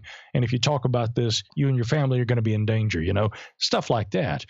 Then you got those real weird cases uh, an example of one of those. Uh, you know you got berthold schwarz in his book ufo dynamics which was maybe published in the late 70s early 80s and he is recounting this strange experience by this man who had been investigating a UFO sighting in his locality, where he says he gets a phone call, and it was very uncharacteristic, Dave. He says, My family had gone out, they were at the movies or something, and he happened to be home by himself that night, and he gets this phone call from the man saying, I've got important details about this case, and may I come to your home and talk to you about this? And he said, Normally, I'd never just invite a stranger over like that at night after hours, but I did. And he says, I went to the door to turn on the light in advance of the stranger's arrival, only to find that he's already walking up the you know the pathway to the house from the street down below. So he's already there. The man is dressed completely in black, black shoes, black suit. He's even wearing a black bowler hat. The man he was wearing what looked like suede gloves as well. if the creep factor weren't high enough, as yeah, it no were. Kidding. But I mean, so the so the guy comes in and he removes his hat and he's completely bald Okay, so it's Nick Redfern, and he comes in and he sits down and he starts to talk to the man. And the man says, You know, I never felt threatened or anything. I never felt like any of this was out of place until at one point, the bald man who said he, you know, again, he had no eyebrows. It's like he was completely clean shaven when he takes the hat off. But he lifts his hand to his mouth and the suede glove brushes the top of his lips and he says that as his hand comes back down there's a red smear on the back of the glove. The man okay had been wearing what appeared to be lipstick which was smeared on the back of the glove. And at this point the tone of the experience takes on a very different uh, air because he, the man, instructs the uh, gentleman in question in whose home this experience is occurring to remove a coin from his pocket. And he says, I had like a dime and a, and a penny in my pocket. So I pull out this coin. And the man instructs the witness to observe this little coin in his hand. And he says it begins to glow blue and kind of turns fuzzy and then disappears. And then the man in black says to him, Barney Hill, as in Betty and Barney Hill, the famous alleged abductees, you know, from the Betty and Barney Hill experience. He says Barney Hill's heart disappeared just like that coin. And this causes the man to become terrified. He says, okay, this is obviously a threat that's being communicated to me at this point. Shortly after that, the man in black leaves, but as he stands up to go, he's saying that he's essentially losing energy and his voice begins to slow down, according to the account. Oh and then he gets up and he walks out. And he says, almost like a robot, he's holding on to the to the to the railing, walking down the steps and back toward the street. And it was just, I mean, it's it just is so bizarre. So this guy, again, the, the man who claimed to have had the experience in hindsight is reporting this. He was like a clinical doctor, is the thing. He's not just some wacko, you know, some some crazy hillbilly from the country. You know, this is a respected member of his community, you know, a, a clinician, I believe. And he's claiming this man in black, this very bizarre experience occurred in his home while his family was away. So, what do we make of stories like that? That doesn't sound like a blue book investigator to me. no, no, it, it, it sounds it sounds almost alien. Yeah, and that seems to be the sort of insinuation is that over the years, and again, I don't know what to make of these things. I'm I'm sharing that you know story based on the account that was retold by Schwarz in his book. Schwarz himself also actually a uh, I believe he was a a, a, a psycho. Uh, I guess he was a psychologist, really, or a a psychiatrist. Actually, would be uh, probably more uh, accurate, but again looking at this from an academician's perspective but you know schwarz was very open himself to ideas like telekinesis and you know powers of the mind but from that clinical uh, perspective he tried to look at this i guess uh, through the lens of psychology. But nonetheless he wasn't saying that people are imagining these and that these are simply psychological experiences. He seemed to think that there were physical experiences that were happening and hence he he shares these encounters in this book. But again the idea of something like that how do we interpret you know something that seems to have this air of being human but almost more like something in human skin and clothes trying to do its best human impersonation you know And Dave, that's the scary part about days- it. well, yeah, and certain days of the week. I mean, I, I I wake up and I go, you know, what if these things are the operators? What if what if we really do live in Neo's Matrix, and that the UFOs and the Men in Black and stuff, just like in that film, the Men in Black are what the operators look like when they come into the Matrix and interact with us. I mean, there's a reason why in that film Agent Smith appears as a man in black. Oh, very true. Very true. Micah Hanks is our guest tonight on Spaced Out Radio. Micah, I had an insider tell me one day, I had a very private and candid conversation with somebody who was well connected. And he, when I asked him about the men in black and and you know other sorts of questions to the phenomena, he basically told me that you know we're we're not the killing business anymore. We're we're about you know ruining reputations. We're about you know causing people strife so that way when they get out of the game there is no way that we could get back. And yet people who have had these these alleged men in black experiences all claim that, you know, there was some sort of, you know, non-threatening threat that kind of came their way. Are we at that point because of where we are uh, technologically that we no longer have to take people out, so to speak, and it's much easier to ruin a reputation and and try to to uh, discredit someone that way instead because it's a lot more long lasting and it's less bloody.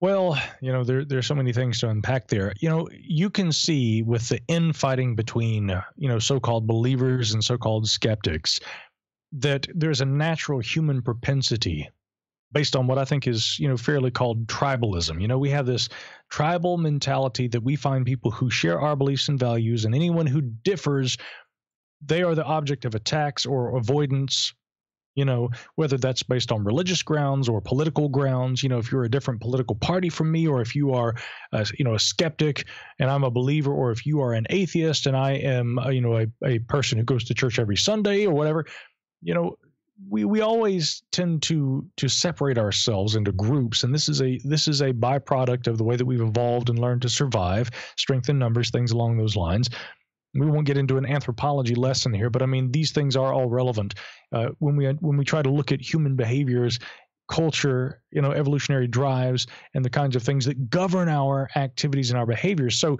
my point is that in light of all that, you see a lot of that we will ruin you and destroy you just among people and the infighting that emerges between people with different ideas without there having to be, you know, a government or a superior you know entity or organization that is targeting individuals for the purposeful intent of trying to discredit them. We do that to each other. You know the skeptics on twitter and the believers on twitter are doing that to each other every week you know we got to dig up all the bad stuff about what the skeptic wrote about for years the skeptic looks at all the goofy tweets that this believer has made that make that guy look bad you know that seems to be a natural human thing now when it comes to the like men in black uh, you know, I, I'm very careful to uh, not take stories like the one that we just uh, heard and say that, first of all, I think this is all true.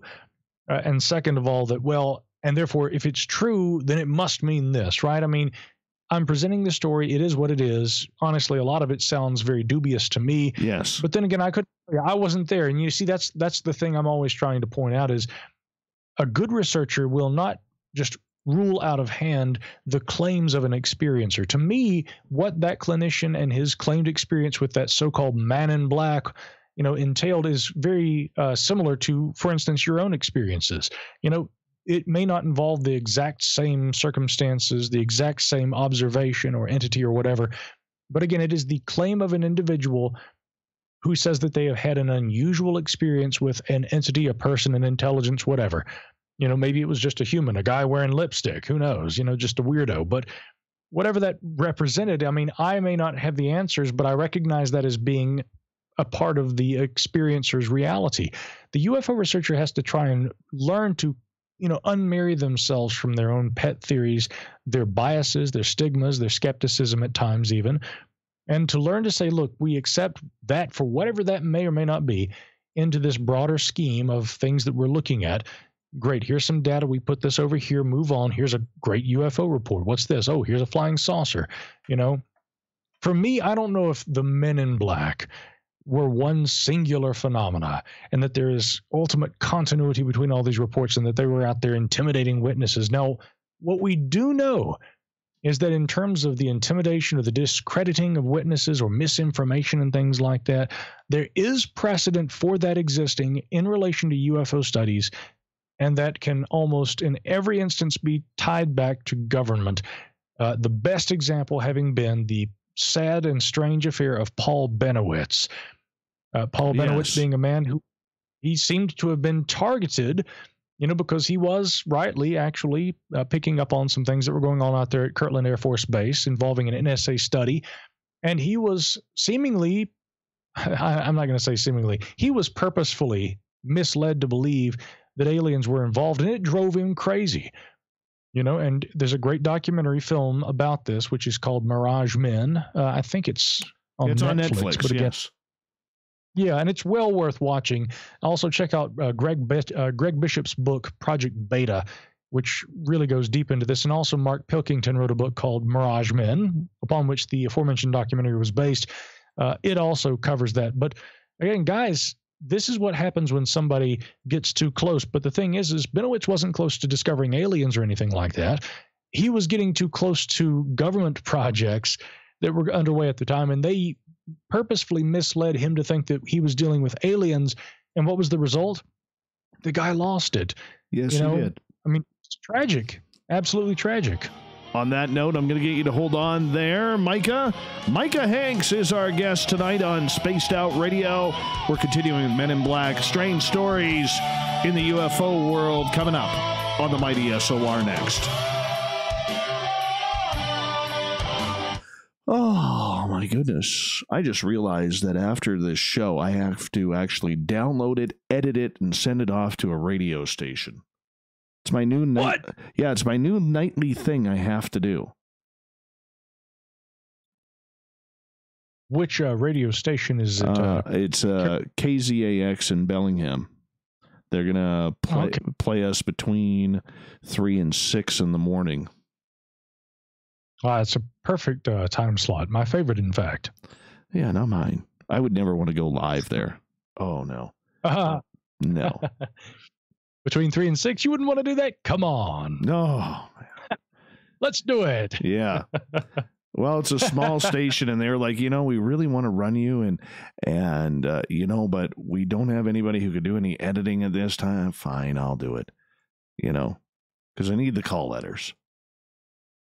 Yeah, yeah, it's always good to have the uh, call letters. I know, I know what you mean. Yeah. Yeah.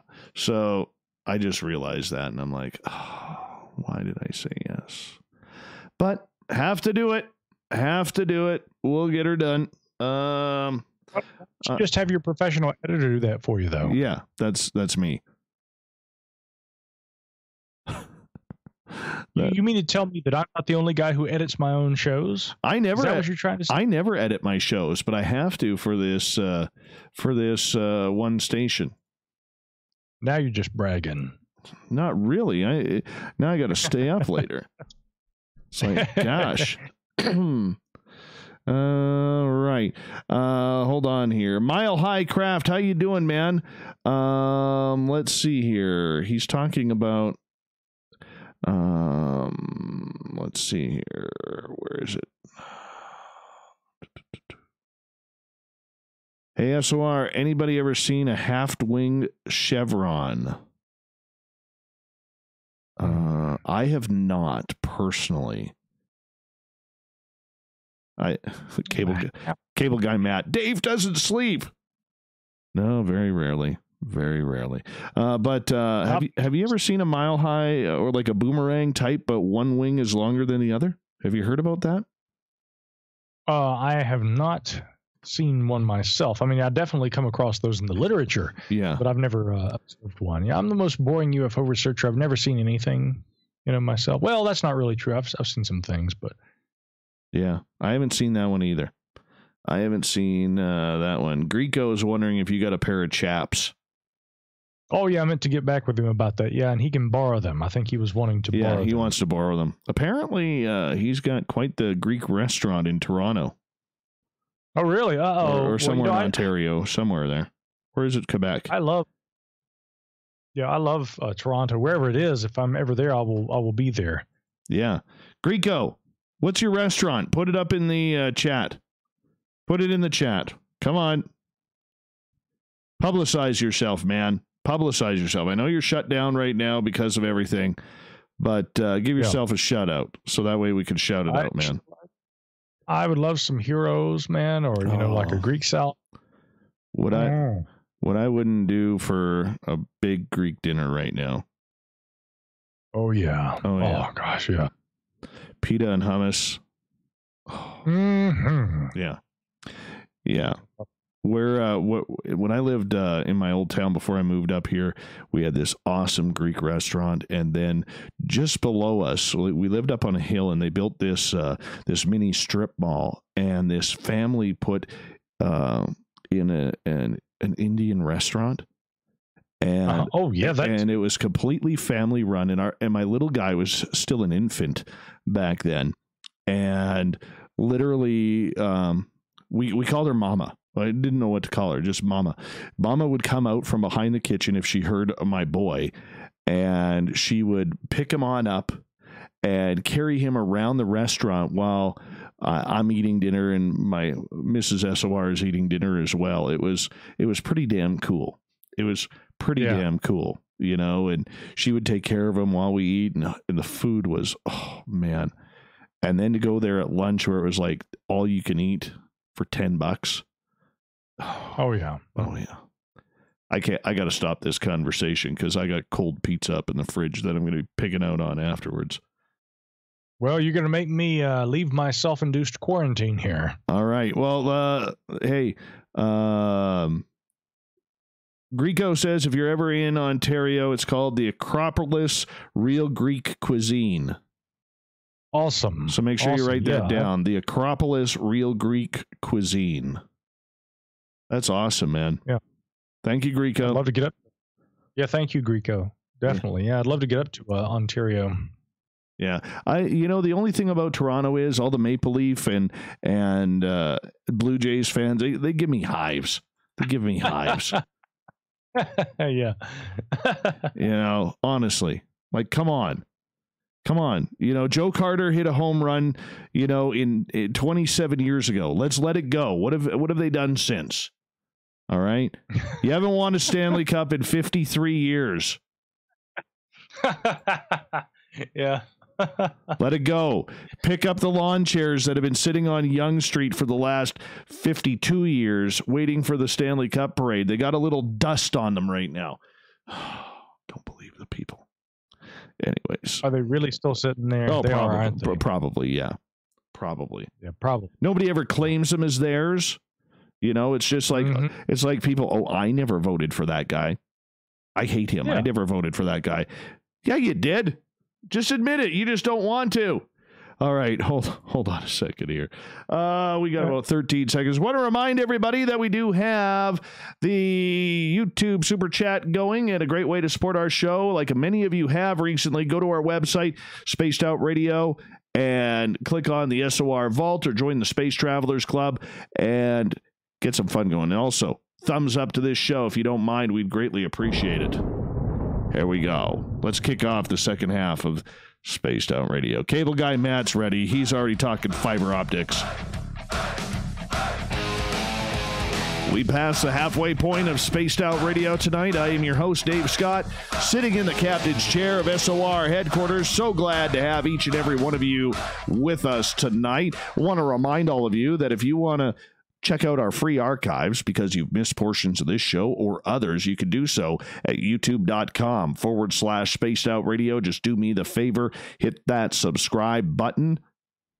Our website, spacedoutradio.com. We got a plethora of features for you, including rocking out to Bumblefoot and reading up on Captain Shirk's SOR Newswire.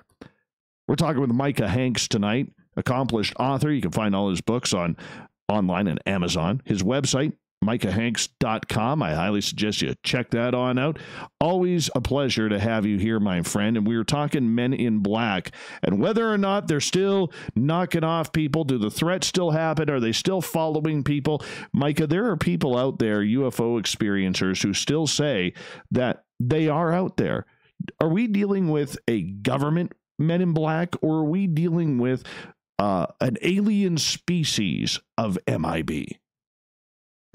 Well, you know, as I and by the way, if you're in the captain's chair, does that make me the de facto science advisor? Am I the first uh, mate? Am I? Uh, I, I want to be the Spock Well- to your Captain Kirk. well, okay. well, well, technically, the way I always explain it, and you'll get this, is if you and I are, you know, you know, I'm in the captain's chair, and this is a, I'm actually the navigator. You're the pilot. I just need to get you to go where we need you to go. So I'm the navigator. You're the pilot here. that works. That yeah, works. As long as I get the pointy ears. Yeah, I just want the pointy ears. Yeah. You know, the Spock thing. Yeah. So Okay, I guess you can wear if we're in those. You, you can wear those. We'll we'll give you permission. That sounds good. All right, I'm glad. Uh, the um, with regard to the uh, the idea, uh, you know that uh, there's a government component to this. I would say this: if if we look at the history of of UFO writing, I've outlined a couple of points I think where. Uh, there is quite obviously a government involvement. I don't think you could really call aspects of the Bennewitz affair, uh, you know, a Men in Black kind of case. Again, Men in Black is a mythology that is built around what I think are, in many cases, legitimate experiences that people have had. And some of those I do feel like, in the case of Richard French, those can be traceable to actual individuals who worked within government with relation to Project Blue Book or whatever else was going Yeah. on at that time. Now, it's important to point out, I mean, there have been other UFO studies carried out by government. Uh, studies, assessments, things along these lines. It was brought to my attention, for instance, uh, a while back, that uh, there is a uh, during the uh, rather the Vietnam War era, there were a couple of limited studies, I guess we might call them, or programs uh, that were carried out. Have Fear and Lethal Chaser. And the premise between or behind these had been that, again, in the Vietnam conflict, uh, the U.S. Army had continued to encounter often what were described as ellipsoid aircraft that produced a bluish kind of light. Uh, ellipsoid or egg shaped, ovoid might be another term. But again, they seem to be describing something very similar to what we would call the Tic Tac that Commander Dave Fravor uh, encountered during the USS Nimitz incident of 2004. Yes. Now, during that time, uh, within the scope of the so called Have Fear and Lethal Chaser uh, programs, there seems to have been.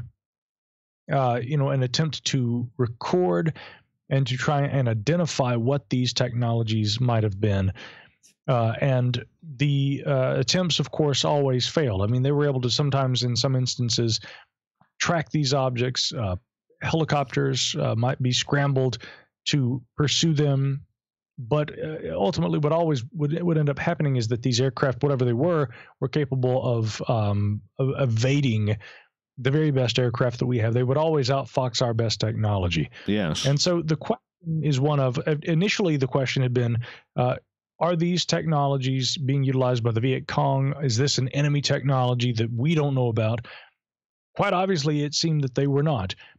And as we are looking at this in in you know in hindsight, we kind of have to go back and ask ourselves, you know, they couldn't identify them at the time. They were utilizing the best technology, and in fact, it was some of the most uh, sophisticated systems. I would I would say probably that they were comparable to what we see in 1977 and 1978 being instituted by the Brazilian government uh, around Colares, Brazil, when the so-called uh, Operation Saucer project was undertaken.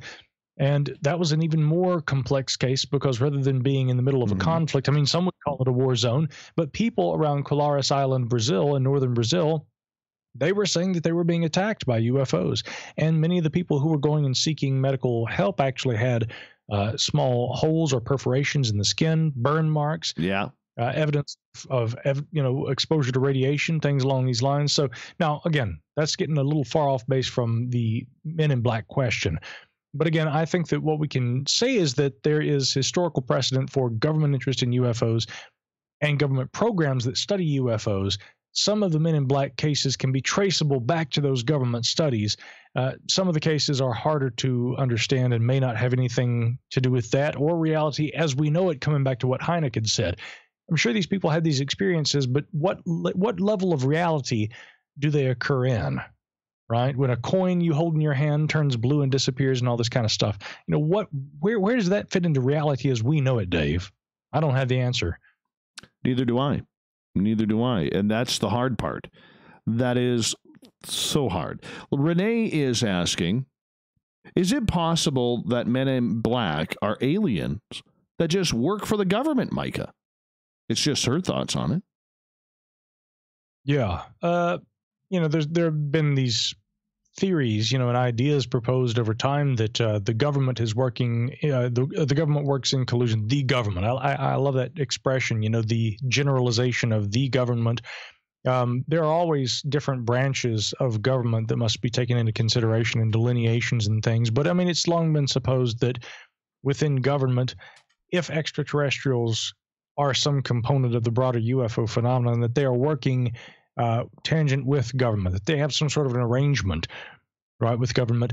That idea, I, in my opinion, really kind of becomes uh, popular after guys uh, in the 1980s and 90s like John Lear come out and start proposing these sort of, you know, again, what broadly John Lear's dark hypothesis, I guess, is probably the name for it. You know, the idea that there's this sort of deal with the devil that goes at least back to the Eisenhower administration, where the government knows that aliens are carrying out certain operations here on Earth, but you know, for various reasons, we allow them to do this, and it includes the abductions of Americans and things along these lines, and uh, and the use of certain facilities here on Earth that are shared with extraterrestrials, all this kind of stuff. As far as I uh, am aware, there's no proof uh, for that. If anything, and again, I'm I'm entirely amenable to the idea that extraterrestrial life may exist, that the UFO phenomena may be representative of that, and that they may be not only visiting Earth but also conducting studies, experiments, whatever, and even interacting with us. I mean that that is not something that can be unproven per se. What about it? But- okay, sorry. Go ahead, please.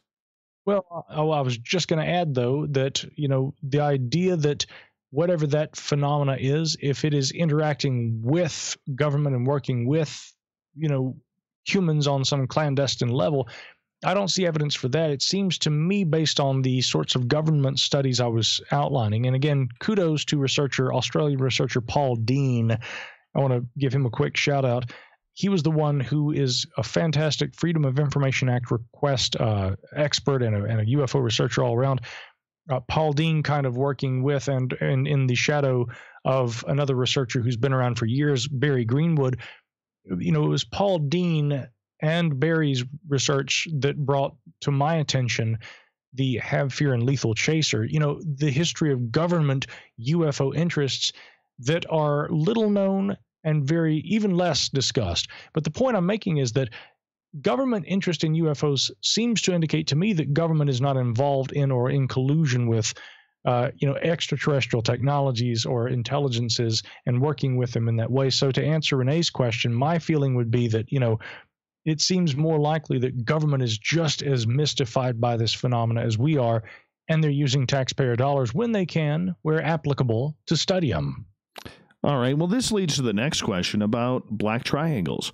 There are many who believe that these black triangles are some sort of hidden black program, maybe part of the secret space program. There are others who believe that they are of alien descent because of the size of some of these. I mean, we have reports of, and you've read them, I've read them, many have, of people seeing these craft that look to be a mile, two miles, three miles long. And yes, that sounds hard to fathom, but I can't see a three mile or even a one mile aircraft landing on Earth and not being spotted. I mean, what do you know about these black triangles? Where do you think they're coming from? Well, you know, again, their origins remain undetermined, but I, I have to tell you this these black triangle aircraft I, I spoke with a gentleman named ian from the uk fantastic fella and uh, someone i hope to actually stay in touch with. Uh, he's a very bright guy and we share a lot of uh, interests including archaeology but he sent along one of the most striking reports recently including a visual mock-up that he had done which gave me an indication of how this looked and his sighting occurred in the early morning full daylight uh, probably around six or seven, as he is walking home uh, along a little kind of a country road in England, and this thing is flying along. And most of these sightings occur at night, but to see something like that in the daylight really must have been impactful. And it seemed to be for him, and he described it as such. Uh, I have received Dave for years now so many credible reports from witnesses who have described seeing these triangles, whatever they are. And uh, you know, one had been uh, sent along to me by a uh, gentleman by the name of Andy, and he had at the time been a flight attendant on an aircraft.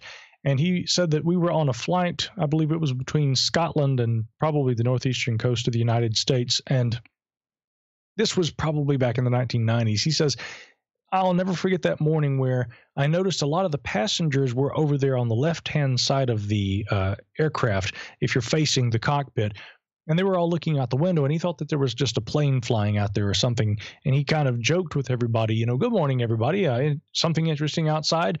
And he says a scottish gentleman turns and looks at him and says you tell us and so he goes to the window and looks and he says that there's this massive black triangular aircraft at a lower altitude than them flying below their plane.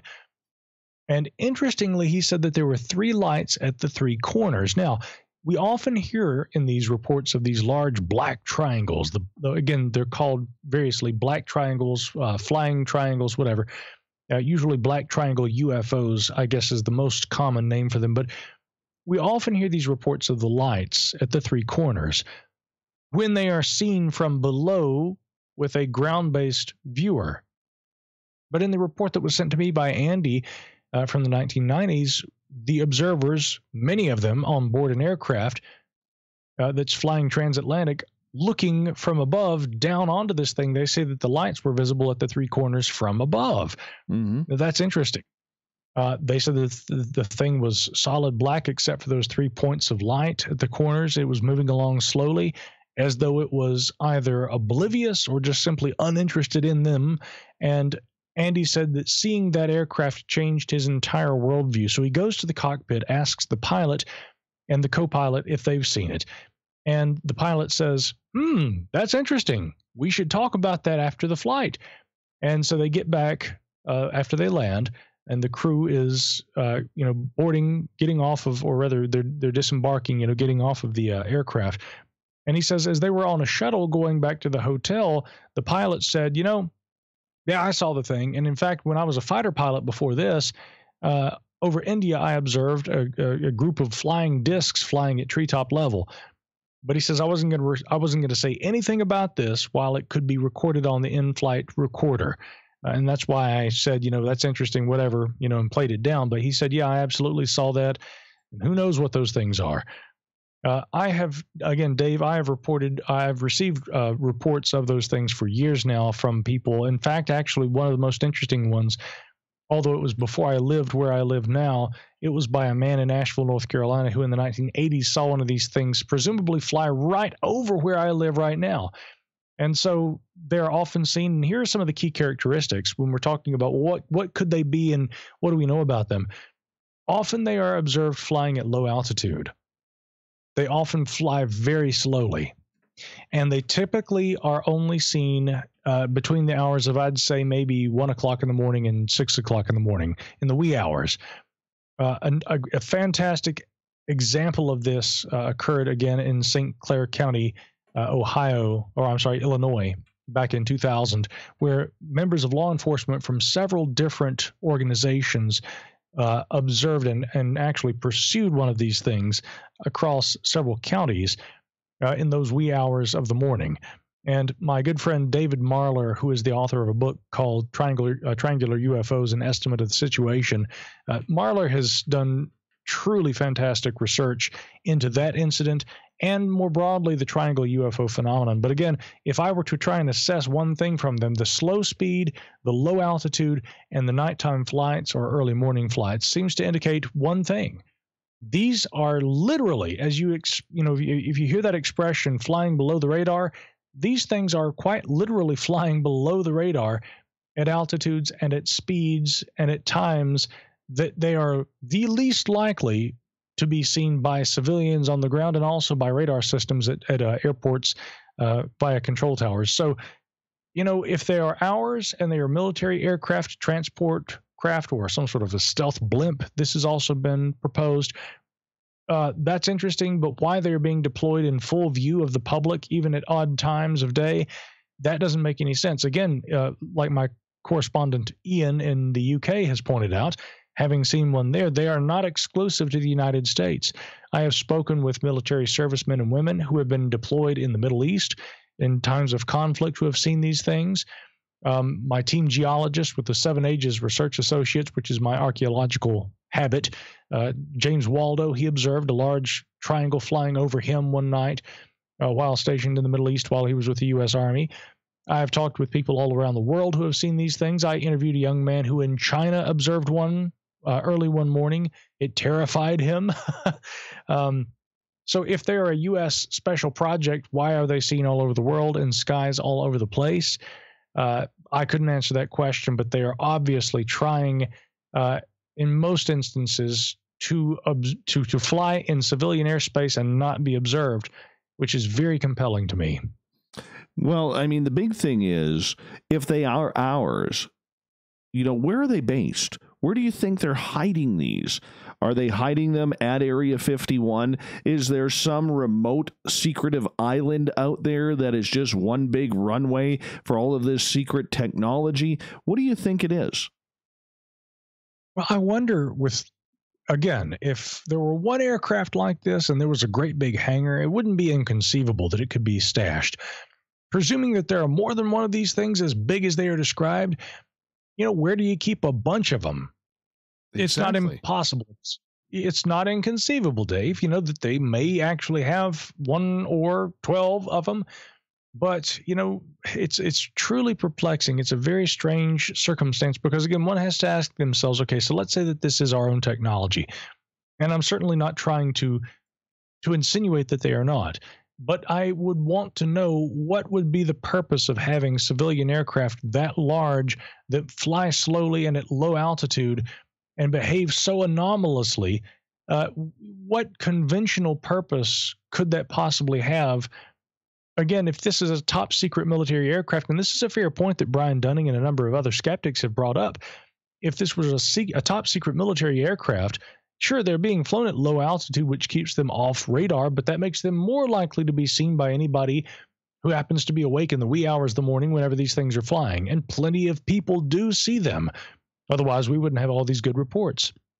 Uh, in Andy's case, as observed from that aircraft, uh, in Ian's case in the UK, uh, and others that I have received, they are not always seen at night. Sometimes they are seen in the early morning. Uh, but they generally don't appear in broad like afternoon daylight. If they show up in the daylight, it's almost always in the early morning, which seems to suggest that there is a nighttime pattern uh, for their flight. But, you know, again, yeah, I mean, it, it, almost strains credulity trying to say that there is some sort of a practical reason why the U.S. Air Force or another agency would utilize these aircraft. Uh, what are these? Are these are these large stealth blimps that are utilized for transporting um, large amounts of of materials or of uh, you know of actual personnel. Maybe they're they're transporting groups of individuals, you know, people, personnel for deployment for various different things. I don't know, but I know that there is not a shred of evidence that suggests that there is any uh, indication that links them to government. Uh, nothing that's come out in my uh, to my knowledge. And if anybody knows otherwise, please info at micahhanks.com is my email. I'd love to hear from you or you can follow me on Twitter at Micah Hanks. But I've never seen a shred of information from the Freedom of Information Act request, uh, you know, FOIA or government otherwise that suggests that these are our technology. Now they very well may be, but I've not seen evidence of that. And and that's the hard part is we don't know. I mean, I personally have seen two black triangles. Uh, one had the typical points on each corner. This thing was massive biggest thing I've ever seen in the sky. And the other one was seen with uh, me and two others where we were sitting on my patio and the entire undercarriage was lit up by silver orbs connected by orange rods. It was it was in, very interesting, very interesting to say the least. And so I, I always wonder whether or not this technology is something that can get to the moon. Maybe they're maybe they're based on the moon. I mean, let's we got uh, with 90 seconds to go here. We got we got some tinfoil action right there, Micah. Well, maybe so. Uh, can I ask you a question, Dave? Sure. When, like, what era? When when did you uh, make those observations? When did you see those? That craft? was in 2014. Oh wow! Yeah, very recently. Okay. Yeah, yeah, because there there in, in the literature it often is in well this is somewhat the case for my own uh, collection of data about these. Most of the people i have spoken with seem to indicate that the uh, aircraft were observed sometime between the mid 1980s and mid 1990s i do get a lot of reports though from the late 80s from 1986 right. forward. Um but that doesn't mean that we don't still see them. I mean, some would try and argue that really the heyday of the so called Black Triangle observations doesn't occur until the early 90s with the Belgian UFO wave, where a lot of these things are being seen at that time. Again, that's certainly not U.S. airspace. That's not even over America. Um, and quite often you see reports of these things over Europe. So, but then again, we also see, you know, U.S. made fighter aircraft over other parts of the world. So maybe if these are ours, it's not all that unusual that they appear in other locales. I'm merely pointing out that again, if this is an important point to make actually in relation to that side of it, it's one thing if it is a known aircraft that is utilized, you know, by the Army or the Navy or the Air Force. Yes. But if we're talking about an experimental aircraft that has not been actually deployed and is not currently in service, that should not be appearing in the airspace over other countries, not right. even Canada. Right. In those instances, if talking about a U.S. experimental aircraft, as so many have, ex, you know, have explained this away as being, that's just not possible. And that's what's happening, though. Micah Hanks is here on Spaced Out Radio. We got him for another 30 minutes. Then it's the SOR Newswire and the Thought of the Dave.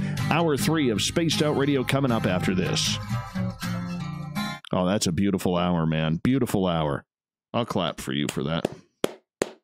Those big black triangles. Oh, dude. They always make dude the the they scared me uh they uh those things scared me and um it's just weird hey i'll, I'll get back to that i'm just gonna run my dog outside do you need a break Uh, yeah, I might step, yeah, step away for just a minute and kind of stretch the old legs. Uh, we'll go. We're just gonna have a little bit of dead air on uh, the YouTube side here, and then Micah and I will be back here in just a couple seconds. So stay tuned. Don't We anywhere, shall YouTubers. return. Don't go anywhere. we got a show that continues. oh.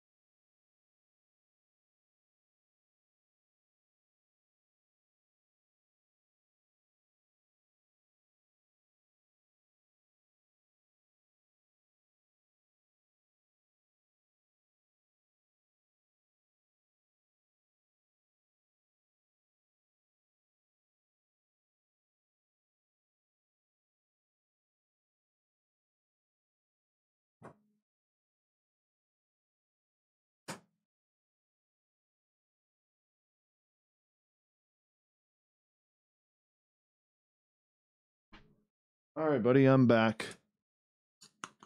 Greetings, sir. Greetings. All right, we are here hanging on out with the YouTube crowd and just want to say thank you for everybody joining us tonight. Really do appreciate that. Really do. They're good people. Good people. I heard they shower Great. before every show. Oh, really? Yeah. Pretty awesome. Could that be because they're getting ready for bed before they listen? Well, it could be, but I, I think it's because they want to look good for the show. That's just me. Ah, yeah, the nightlife. Yeah, Yeah, you know how it goes. I do actually. Yeah. Um. Yeah, I'm getting caught up on some of these headlines over here on things. Is it strange, weird, a little, a Mm, little obtuse? Uh, yeah, maybe all of the above. How's that? Well, Uh, Just monitoring the situation. Boy, this is just a strange world in which we live. isn't it? Isn't it? So strange, yeah. Yeah, I shouldn't read news before. Uh, it, it's funny. It, it- I, I went into the uh, other room and saw on my phone. I always try to leave my phone in another room when I do a live radio show because have you ever listened to a show where you got, or maybe you've done this where you had a guest on and you hear their phone Oh uh, yeah. in the background? oh yeah. Yeah. So rude. Don't bring your phone with you into the. At least put it on silent if you're going to cheat and have your phone in there with you Exactly. while you're doing a radio. It- so I leave mine in another room so I'm not tempted to look at it and stuff. I don't blame but I you. walked in. I walked. Well, you know, I love not having to have the phone with me. You know, if I'm in my studio here, um, I mean, I've got enough gear all around me. I'm already being bombarded by other electromagnetic frequencies. I don't need a phone in here, and so people can never figure that out. Why don't you ever answer your phone? I'm like, because I work a lot and I'm always in here. the phone stays in there. Yeah, but I went in there and I looked, and it's 2 a.m. here my time, and I'm like, wow, it does not feel like 2 a.m. I'm just kind of waking up and just really feeling, you know, the energy of the environment and the uh, conversation here. Me too, my friend. We got 15 seconds. Hold on here. I want to remind everybody on YouTube that a great way to support what we do, we got the super chat open. Thank you, Enoch, for the super chat. Really do appreciate that. Our website, spacedoutradio.com, has our store on there. Pick up some great swag while you're there. All right, here's the music. We got hour three You'd kicking like off right now. us? Head to spacedoutradio.com for all your latest show info. Now, back to Dave Scott and SOR. We're kicking off the third and final hour of Spaced Out Radio tonight. I am your host, Dave Scott. I appreciate you tuning us all in. Thank you so much for joining us. I want to remind all of you that if you're listening in on our terrestrial affiliates, we really do appreciate that. And thank you to those listening in on Revolution Radio. Don't forget, you can check out all of our archives for free at youtube.com forward slash spaced out radio. Just do old Davey the favor, hit that subscribe button. The Desert Clam has set the password for tonight in the SOR Space Travelers Club, Hobohemia. Hobohemia is your password. Use it wisely, space travelers, as the clam sets the password each and every night right here on Spaced Out Radio. Our website is spacedoutradio.com. We got a plethora of features for you, including rocking out to Bumblefoot and reading up and staying up to date with Captain Shirk's SOR Newswire.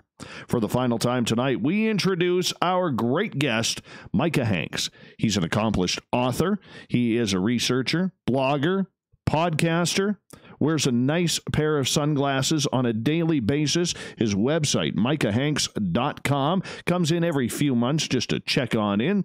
We never really have a script, we just kind of go with it. Micah, welcome back. Yes, the man who comes to this show for one reason and one reason only. He is perpetually in search of finding out exactly what a desert clam is. Yeah, nobody seems to know. Nobody really seems to know. But you know what? He sets the passwords each and every night, and we just have to make sure that we use them wisely. Because if we don't, danger happens. Danger happens. I can get behind that. Yeah. And you know what the real weird part about the whole password thing is? Nobody really knows what it means. So when people ask, Uh, people ask, "Well, what, Dave? What, what, what's a password for?" The only answer I have is exactly. Exactly. There you go. I, was- I was thinking you were going to say, well, if I told you, I'd have to kill you. But, you know, I guess that's, you know, the MIB have been unemployed for years now. That's what I'm gathering from this conversation. And so they probably Oh, aren't yeah. killing anybody. Oh, I get it. Desert clam. Okay, cool. Yeah. It all makes sense. I just, I just got it. Well, fill me in when you when you figure it out. I don't get it. But if I told you, well, Yeah. never mind. You know, Yeah, I, I know. I know where we're going. Hey, we, we were just talking about black triangles a little bit before this. And, you know, this leads into an interesting conversation regarding the secret space program. But Nikki has a question here, first and foremost. She is asking, Micah, have you ever heard about a gigantic four to five football fields in length spacecraft considered warships? Have you heard of those? Uh, no, I have not. Uh, the largest ones that I know of, again, are these so-called black triangles.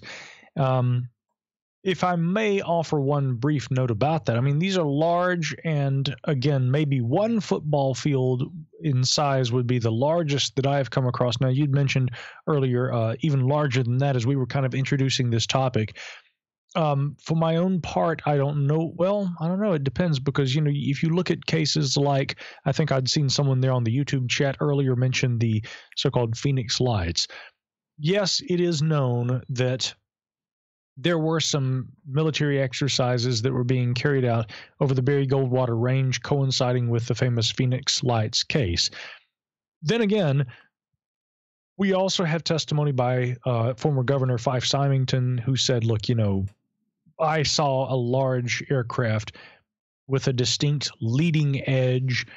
Uh, I have a good friend and correspondent of many years named Mark who lives out there and actually observed the lights. He said, We saw these things, whatever it was, it was triangular. And he said that the three distinct points of light passed over the house.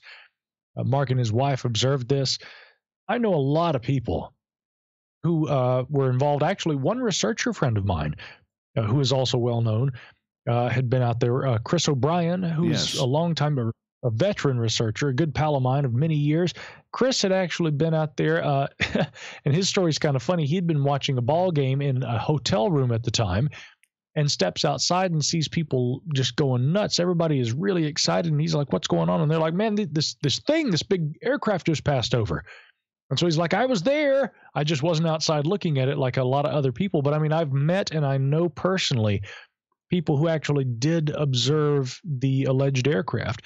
And they say what we saw was very large and not consistent with flares being dropped over the Barry Goldwater Range, as is indicated in the official uh, uh, explanation for that incident. Now, maybe there were some military exercises being carried out.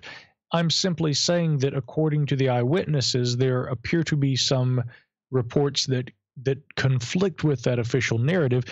And I bring that up here also because in uh, relation to Nikki's question there about very large aircraft, something you touched on earlier, based on those eyewitness descriptions, whatever was seen over Phoenix seems to be pretty uh, seems to have been pretty large as well. Now, you know, for my own part, I, I still don't know what to make of these large black triangles.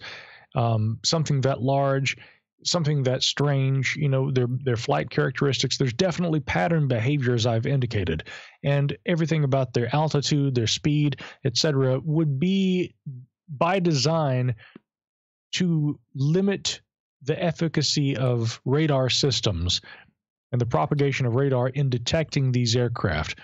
And if I have to ask if they're ours, then why in the world, uh, apart from keeping them uh, from being known to air traffic control operators uh, at airports that are on the civilian level, you know, why in the world would they fly at those altitudes and in that manner? You know, something about this is quite evident to me. Uh, th- this is intended to be kept secret, I think, uh, whether they are ours or theirs, so to speak. Yeah, and and that's the interesting part is where do we go with this?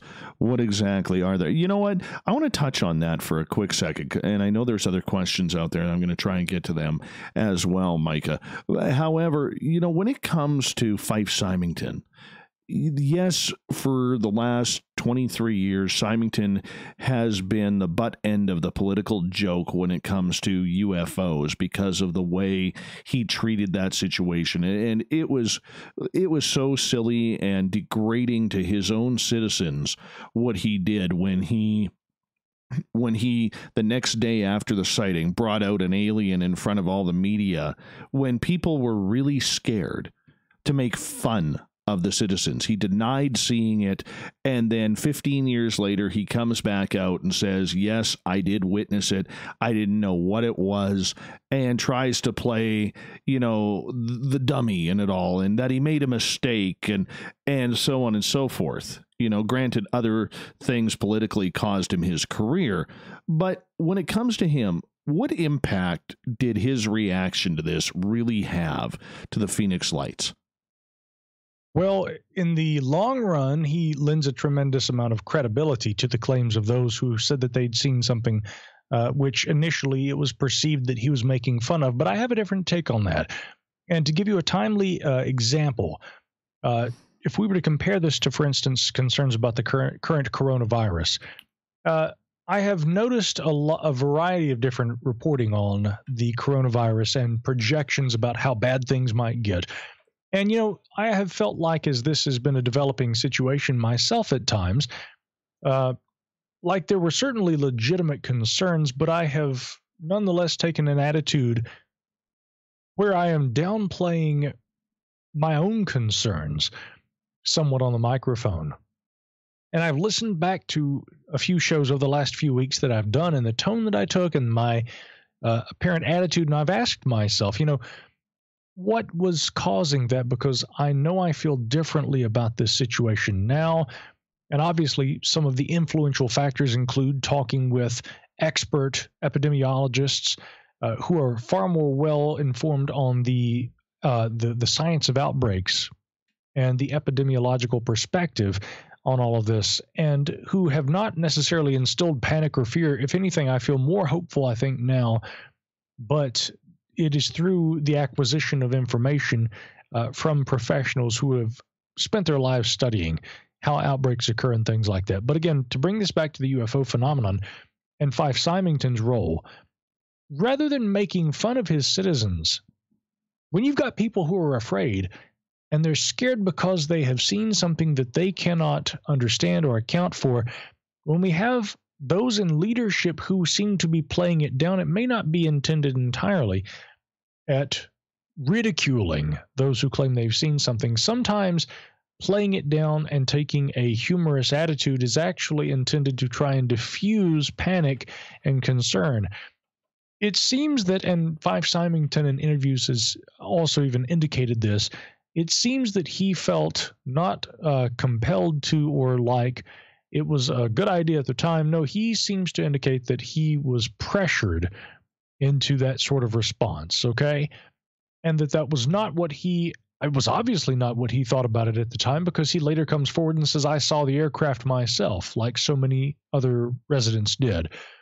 So quite obviously if he was pressured and this isn't to insinuate some grand dark conspiracy but it is to say if there were pressures put upon him, look, people are scared and you're going to make them more scared if you say you saw it too. Play it down make a joke out of it. His intention or the intention of those who pressure him into doing this had probably been very much like i think some downplaying the coronavirus. It is better in terms of management in the long term to be able to keep people from engaging in in fear mongering because if fear mongering occurs and people start getting scared and panic results from that the situation can escalate and get out of control very quickly. Symington was probably aware of that potential and wanted to avoid that.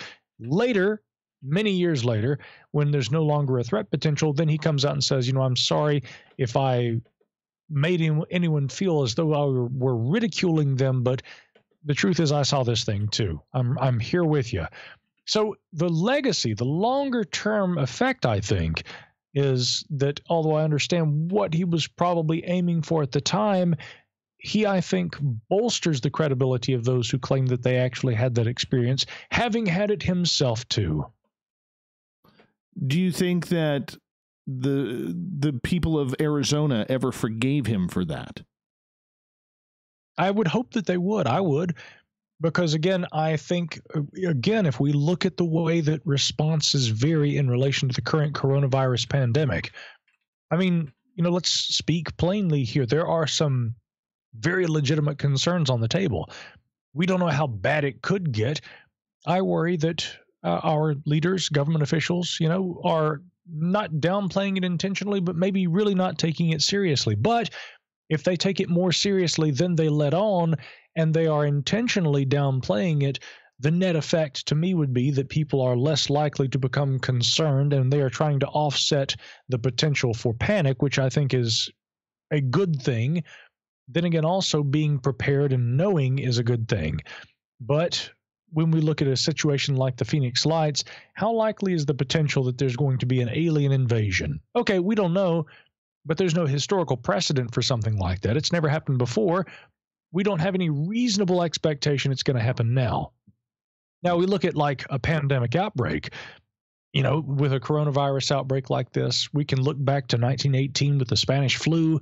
We can look back to 2009 with the H1N1 thing. You know, there's historical precedent for outbreaks and for how they occur, and we have models, we have figures and things. So there's a realistic potential for concern in relation to what happens if this, you know, gets if this escalates. In other words, with a UFO kind of a case, going back to Symington's situation, why would they have treated that as though there were a potential, a threat potential with the actual aircraft? So Sure, leave that off the table. Let's play it down. Let's keep people from getting scared. We probably think there's nothing to be scared of. In hindsight, if I were a citizen who had seen that thing and had been upset with him at the time, I would absolutely forgive him because I think a leader is often put into a situation where they have conflicting opinions, feelings themselves. He saw this thing he doesn't want the situation to get out of hand. If people had seen it, like you said, they're frightened, they feel concerned. And as a community leader, he has to try and address this situation. But I mean, I think he did what he thought was right to do at the time. And unfortunately, many to this day still perceive that as being ridicule. I don't know that that was the intention. But again, at the end of the day, we cannot remove the fact that he has come forward and himself become one of the more notable uh, eyewitnesses to that incident uh, of all time, and and one from uh, actual government in that period. Well, I mean, the big thing too is when you know when I look at this, I always wonder who put him up to it. Who put him up to it? Was it a, you know was it yeah. the did it come from the White House? Did it come from the Pentagon? Was it the United States Air Force? Because we all know that the Arizona desert has a lot of major military bases, especially Air Force bases there.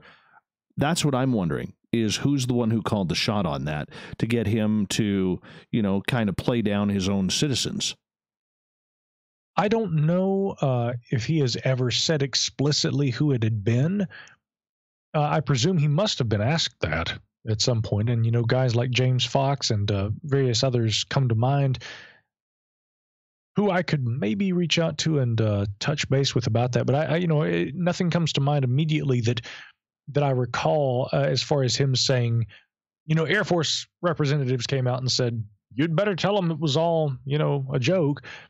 something along along those lines. But I mean, that seems to be what was implied, right? Uh, so I don't recall if he's if he was ever asked about that and if he had stated. Now I did actually have a friend a number of years ago who had filed a Freedom of Information Act request. Uh, seeking information about military exercises that were being carried out over the Barry Goldwater Range on the night in question, uh, involving like A-10 warthogs and everything, yes. according to the popular you know skeptical interpretation. And the FOIA request came back and said that there were no records existent today of such a military operation which was seemingly very notable because i mean if that's the skeptical explanation uh, and yet there are no records of this operation occurring at that time then what were people seeing? Now on the other side of that, a private pilot also reached out to me and said that there was a, a you know prosaic angle on that, and it, it wasn't necessarily uh, when the FOIA request came back with no records of any kind of operations, that did not necessarily indicate that there wouldn't have been a training exercise that was occurring uh, at that time. So you know that's that's one of those instances where I don't think that with the information we have at our disposal, unless there really was a secret government aircraft being tested of some kind, and later that comes out and it is disclosed to the public, maybe that'll be the case. But at the current time, I've not seen convincing evidence from government that indicates that that was anything of ours. Um, there is the the conventional story, you know, flares, military exercises, things like that. That certainly accounts for a lot of the things that we see in footage from around that time. But what appears in the footage, the famous footage over Phoenix recorded on the night in question, is very different to me. That looks like flares in the footage. The descriptions that eyewitnesses share of a large triangular aircraft with a leading edge, like Fife Symington described, uh, my associate Mark and his wife, and others that I've spoken with, seems like a very different thing from flares. Quick question from Philip in our chat room who is asking, what do the black triangles do that makes them so scary to people? I think it is their monolithic, you know, characteristic there. I mean, it was actually referred to as such by one of the witnesses that I spoke with a number of years ago. He said this he, he stopped almost in mid sentence. Uh, and, and, I had actually been uh, doing a radio show uh, here in Asheville, North Carolina, uh, on our news talk radio station. It was a Saturday night, and I had been doing a show on UFOs and just opened the phone lines and let people call in. And we got two incredible stories that night. But this story that I'll never forget, the guy's name was Brian. He called in and he said, I want to talk about that giant black thing that moves at snail speed. And I said, Oh, yeah, I, th- I think I know what you're talking about. And he's describing it. And at one point, he stops almost mid sentence and says, This, this monolith. And I think that that's part of what really frightens people when there's something that large and something that moves that slowly you know, it's almost more like one of these, you know, like a like a like something out of a Star Wars film, right? Like a Star Destroyer or something. You know, one of the Empire's great big triangular aircraft. You know, it's almost more like something out of science fiction. And I think that's unsettling for people who have seen them, but there are a lot of credible witnesses who claim to have seen them nonetheless. It, it's very, very intriguing. I just, I just found it like when I saw the two that I did, there was no sound. That's what that too. That's what tripped me out. To me, that's scary. When you see something that massive sitting in the sky and it is moving and there is no sound with it, that was what was eerie for me. Never mind the size. That's just incredible. But having no well, sound, it's weird. It's very weird. You know, I spoke to uh, our good friend Ryan Sprague today. Oh yeah, uh, I was checking. Such a good guy. Wonderful guy. Yeah, I was checking in with him because he is in New York, which is ground zero for the current coronavirus thing. And uh, he said the strangest thing right now, while everyone is kind of on lockdown, is that at night in New York, how quiet it is. He says that is a new experience for me being a lifelong New York resident. And you know, similarly, when you see a large aircraft, you expect to hear the sound of the jets, the thrusters, or whatever else, you know, the propulsion mechanism. And like you're saying, the majority of the reports involving these large triangles, the silence is one of the eerie components. You expect there to be a noise associated with something that large moving through the sky directly over you. Most people describe little or no noise, although there are some noises from time to time. Sometimes like a, you know kind of a buzzing or kind of a metallic yes. droning noise. They can be fairly faint, um, almost more implied uh, than than evident, but it's it's nonetheless something that a lot of witnesses do describe that there's you know, an electrical buzzing or some sort of a similar sort of sound. Uh, some even describe uh, almost like the sound of white noise, right? Like you know, white noise between stations yes. on a radio, something like that. Those those kinds of sounds sometimes are associated with these things, but more often than not, they are silent. Yeah, and that is kind of eerie in itself. My friend, we got a grand total of twenty seconds left with you tonight and always such a pleasure to have you on Spaced Out Radio and to have you share your knowledge. I look forward to it. We're, we seem to be doing this every three months now. So I guess three months from now, what is this? March. So I guess we'll talk to you in June sometime. Let's plan on it. And everybody out there, it's always great to interact with you. MicahHanks.com. Check me out online and uh, let's do it again, Dave. Absolutely. We will definitely, definitely do that. All right, everybody. Coming up next on Spaced Out Radio, we have the SOR Newswire and the thought of the Dave to take this thing home. Stay tuned. More Spaced Out Radio right after this. Great show, man. Great show. I'll clap for you. Always. I'm going to give you a few of these. And then you then you mentioned my buddy. Then you mentioned my buddy. Who- Oh, Ryan. Yeah. Oh, yeah. Oh. Yeah, yeah. You're, he's your, you're good pal. Oh. You know what? I would be too I would be very good pals with him if he didn't lie about his credentials. That's all I'm saying. Ah, I'd be he was in the military for eight years, though. Yeah. Was he? Uh, uh, no, I don't think Ron was ever in the in the military. Actually, I don't think so. I don't he's too pretty, Incidentally, he's too pretty for the military. Not- uh, incidentally, though, I was never in the military either. So, Me either. but uh, all right. Well, brother, I guess I will turn you loose and let you do your thing. Absolutely. Um, always great to be on with you, and uh, I hope to catch up with you again in three months or so. Whenever there's a need man. or a call, and if, if I shall be here. yeah, hey, I, one of these months I want to bring you on my round table. Uh, the final Friday of Yeah. the month. So Oh, we'll, anytime. we'll keep you in touch with that. We'll keep you in touch. Anytime you let me know what you need, yeah, and we'll we'll we'll make it happen. Okay. All right, brother. You take care. Be safe, okay? Yeah, dude. I'll see you Later, bud. Bye. Hi, everybody. How are you? Micah Hanks. Micah Hanks. Great guy. Great guy. You know, doesn't he have just like the perfect radio voice? Honestly, he has the perfect radio voice. Amazing guy, amazing researcher. So, as as you kind of heard, I kind of gave a little shot about uh, his friend Ryan as you know, I got a big, big beef. And if you're new to the show, I, I I'm just going to say this. All right, I'm just going to say this. There's a lot of good people out there researching, a lot of hard, uh, hardworking people in it, you know, who are doing their research for the good of the community, the good of anything, and there are certain people out there that have made a name for themselves by lying about their credentials. All right? It always comes down to the point, and I I know many of you have heard me say this before, but I can't reiterate it enough. All right? If people out there are going to lie about their credentials, how can you trust their research? Everybody, and, I see it in our chat rooms, I hear it with our guests on a nightly basis who say, you know, where do we find good information? Who can we trust? I, I get people asking me all the time. I do. Millions upon millions of emails. All right.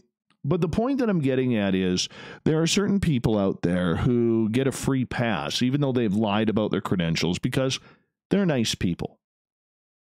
And Ryan is one of them. He's a good guy. He's a good guy. But as a journalist that I am, somebody who worked in the industry, has worked the beat, has worked everything, I cannot respect the guy as a colleague because he's never been a journalist. He's he and there are many out there who have self-titled themselves as UFO journalists, as investigative journalists. And the thing is, it's easy to find whether you have been or not. Okay? It is. I have no problem talking about my credentials because they're true. Hell, I had the Dean of Broadcast Journalism on the show a month ago talking about Slumax Gold when I went to school. So, my big thing to all of you is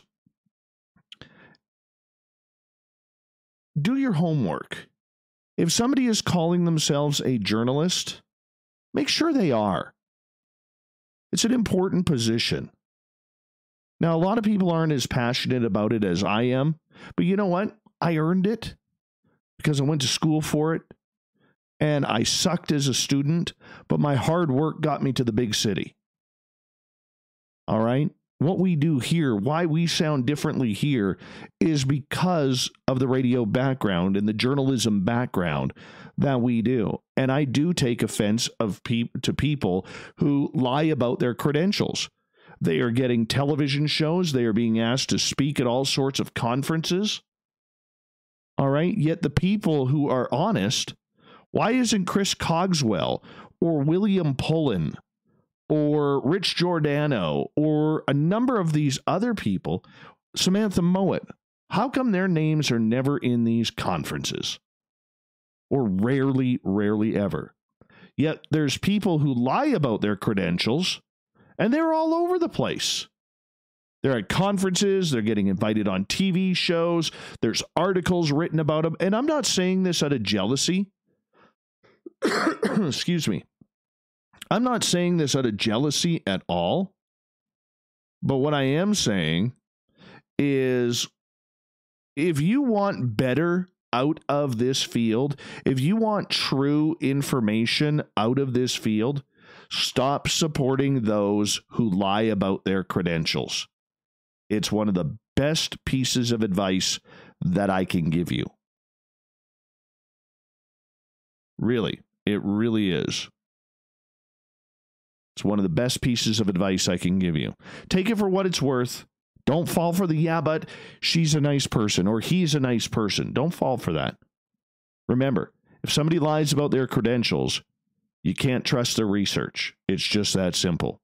All right. Thank you so much to everybody who is tuned in to our show tonight on YouTube. Remember, we do have the super chat open, and our store, spacedoutradio.com forward slash shop, is a great way to help support this show. So thank you all Radio for what you do. today. And we're going to get going here with the music.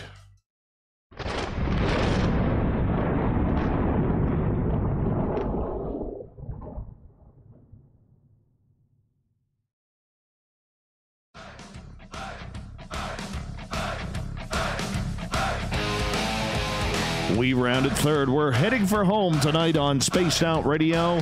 I am your host, Dave Scott, sitting in the captain's chair of SOR headquarters.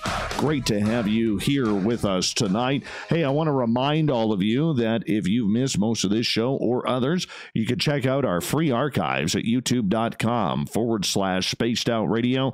Do me the favor, hit that subscribe button. Our website is spacedoutradio.com, where we have a plethora of features for you, including rocking out to Bumblefoot and checking out what Captain Shirk has going on the SOR Newswire.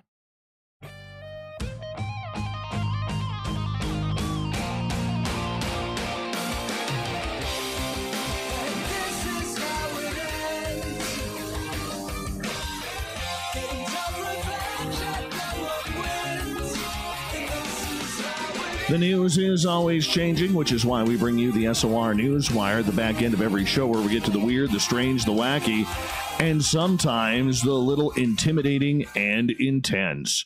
Facebook and Instagram will point users to information from the World Health World Health Organization and censor non-official information it deems harmful in an effort to combat coronavirus related misinformation.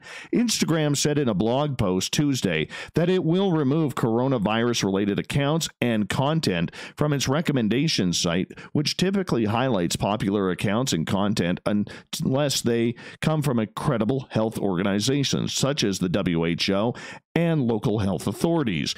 In addition, it said it would also start to downrank content in feed and stories that has been rated false by third party fact checkers, and that Instagram had already put several new policies into effect to prevent people from exploiting this public health emergency.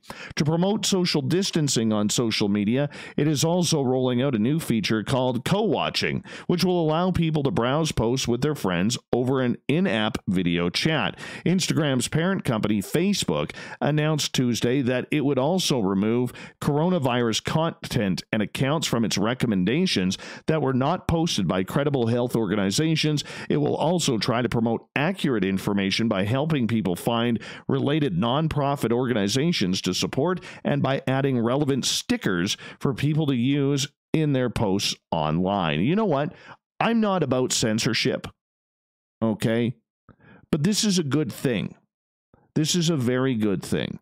There are too many people putting too many snake oil cures online right now, giving too much false pretense to what is actually going on. It's causing a lot of panic out there. We need solid information. Now, I have disagreed with Twitter, Facebook, and Instagram doing this in the past on other topics because I think it's really, really about free speech, even though they are private companies or publicly traded private companies. However, when it comes to this, I think it's a smart move. I really do believe it's a smart move. And hopefully the right information gets out there because there's a lot of hoaxing. I deleted on Facebook today from people who were fear mongering or they were playing false flag UFO videos of CGI. And can you believe this? Why hasn't the media jumped on this? I eliminated, I believe, 20 people from my Facebook and I left about 25 different groups because of this. And I highly suggest you guys do too. Go through your Facebook. If somebody is putting fake news up, explain to them. They may not know. However, if they continue to do it, get rid of them because we don't need any more paranoia. We don't need any more propaganda. We don't need any more BS. We've had enough. It's time to clean yourselves up. And it starts with your profile and your profile alone.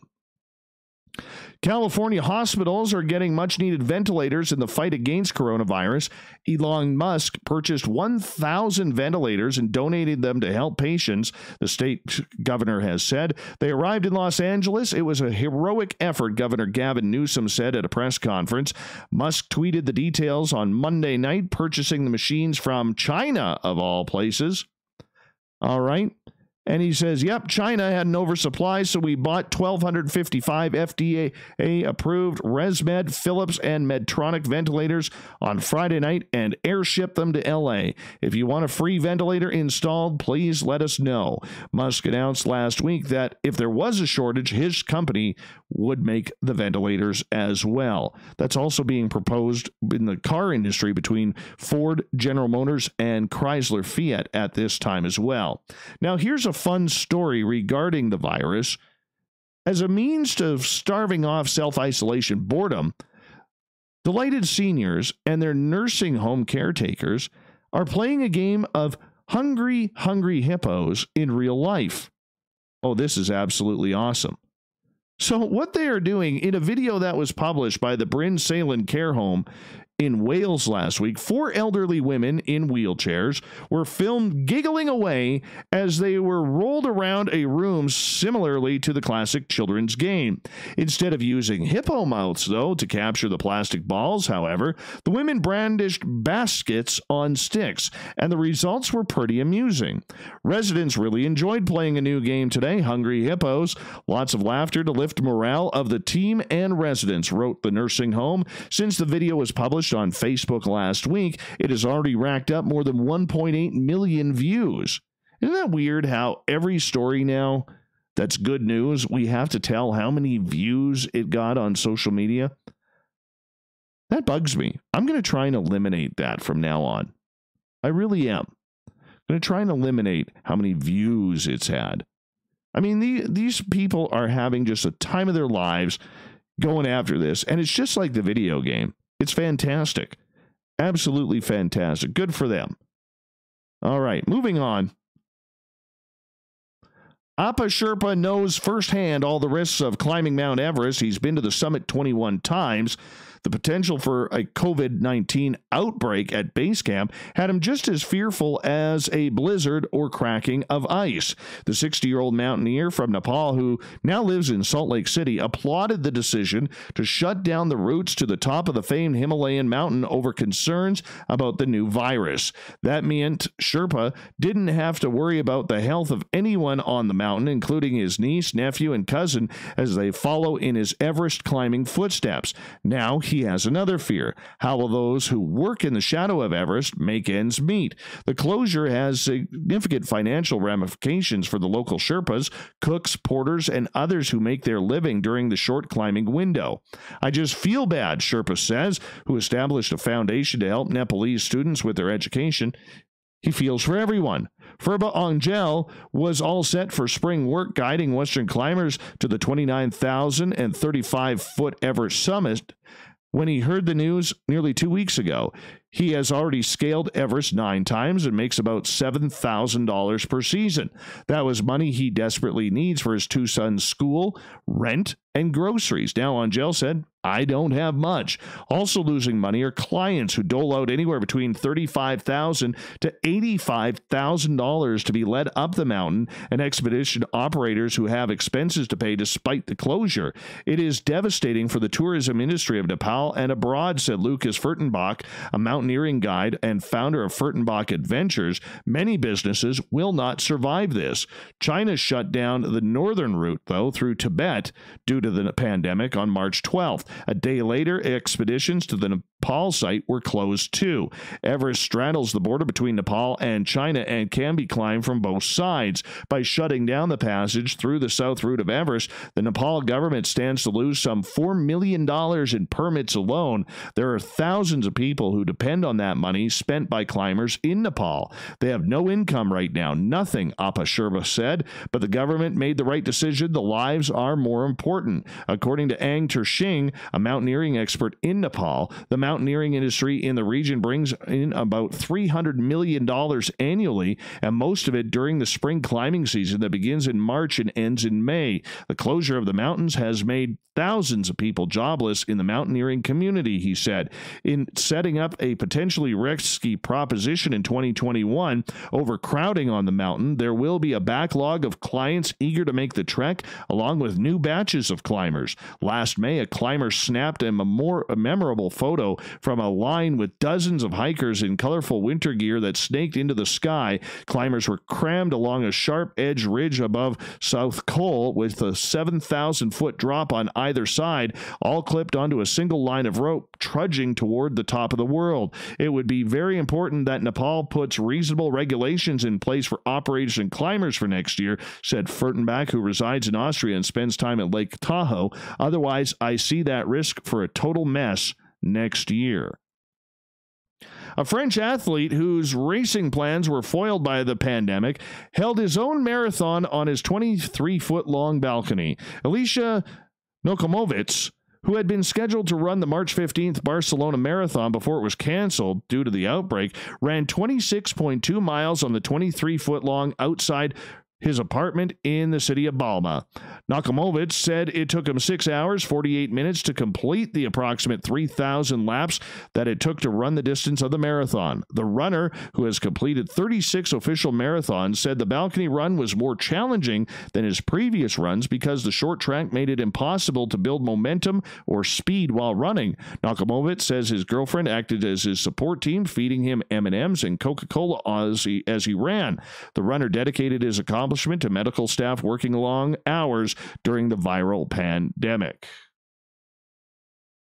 A New Hampshire man apparently did not take kindly to a neighbor's request for him to turn down his music. Manchester police said 47 year old grabbed a sword and then chased the man, yeah, with a sword. Who does that in today's age? We're not in medieval times here, dude. Anyways, he chased his neighbor with a sword who knocked at his door on Monday evening. Police responded to Elms, well, yeah, it's on Elm Street. Swords, Freddy's hand, yeah, here, yeah, this all makes sense now. Anyways, they responded at about 5:15 p.m. for a report of a sword threat. They say Benjamin Leyland chased his neighbor with a two and a half foot sword, but he got away and there were no injuries. Officers arrested Leyland and charged him with criminal threatening. He was due to be arraigned in Hillsborough Superior Court sometime this afternoon. We'll have to get an update on that. Who does that? Who chases someone with a sword? Why do you do that? What are you going to party like it's 14.99 again? Holy cow. Don't get it. Don't get it. All right. Two men are facing federal charges in Florida. Oh, you know where this is going. You know where this is going. Yeah. Florida man never seems to to, to uh, defeat us, does he? Oh, God bless him. God bless Florida man. Two men are facing federal charges in Florida for using small explosions to rob ATMs in the Tampa Bay area, according to authorities. The U.S. Attorney's Office in Tampa has charged Mado Malik Sala of Clearwater and Kirk Douglas Johnson of Anderson, South Carolina, with conspiring rather to commit arson. They could each face up to 20 years in prison. Sala and Johnson took nearly $70,000 from several Florida ATMs between November and January and vandalized others without taking any cash, according to a criminal complaint. Investigators believe the men injected some type of flammable fuel into the machines and used a spark to ignite it. The men were arrested Sunday after setting off an explosion at an ATM in Watkinsville, Georgia. Prosecutors said that ATM was damaged, but Sala and Johnson were unable to retrieve any cash from it. Online court records didn't list the attorneys, but these two men, well, let's just say that they're going to need some bank to get out of jail. Let's get to it, shall we?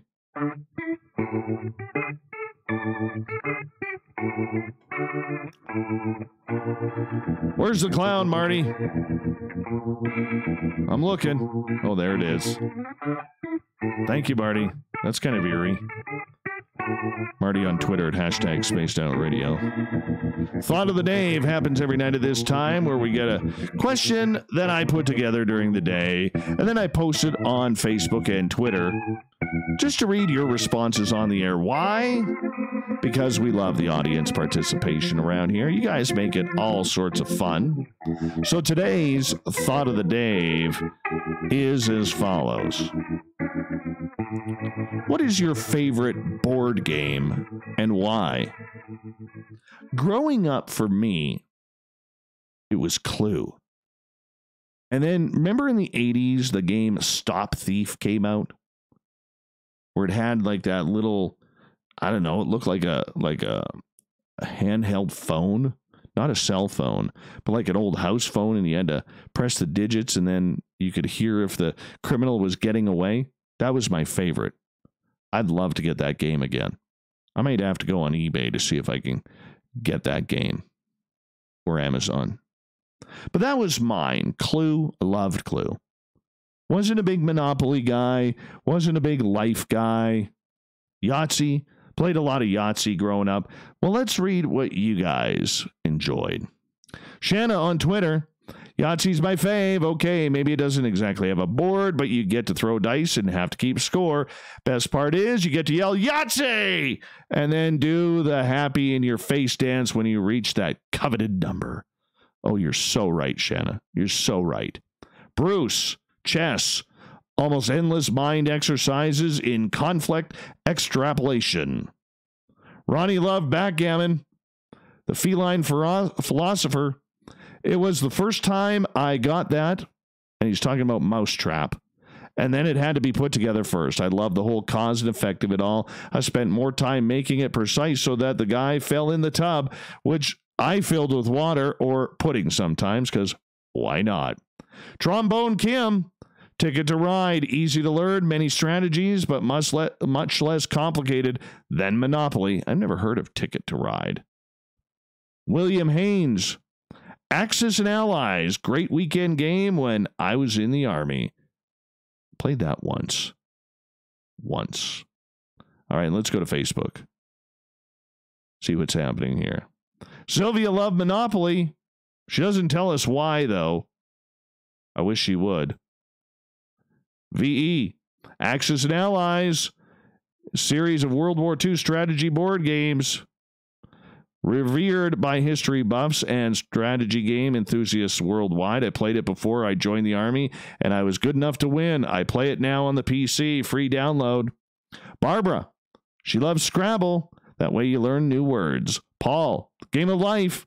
Always fun to see what happens and who gets children first. Tim, or pardon me, Tina, Battleship, retired cop. That's why. Andrea, Monopoly, but you turn over a table one time and you're labeled a sore loser for life, and now no one will play with you. Ugh.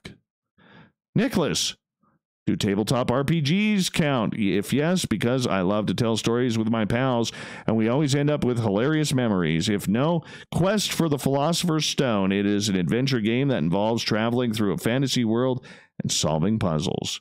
Caden, Clue, finally. It's just a fun classic, gets you to really use your brain. Heather, is Naked Martini Twister considered a board game? For you, Heather, yes, it is. Jim, Risk, the stains of a thousand high school lunches on my game, fond memories of my late friend Dallas Wood. We had armies so big we just wrote down the numbers, just a few game pieces on each country, made it easier to start over the next day. Ukraine nearly wiped out with mustard and mayo stains. Scott, chess, for obvious reasons.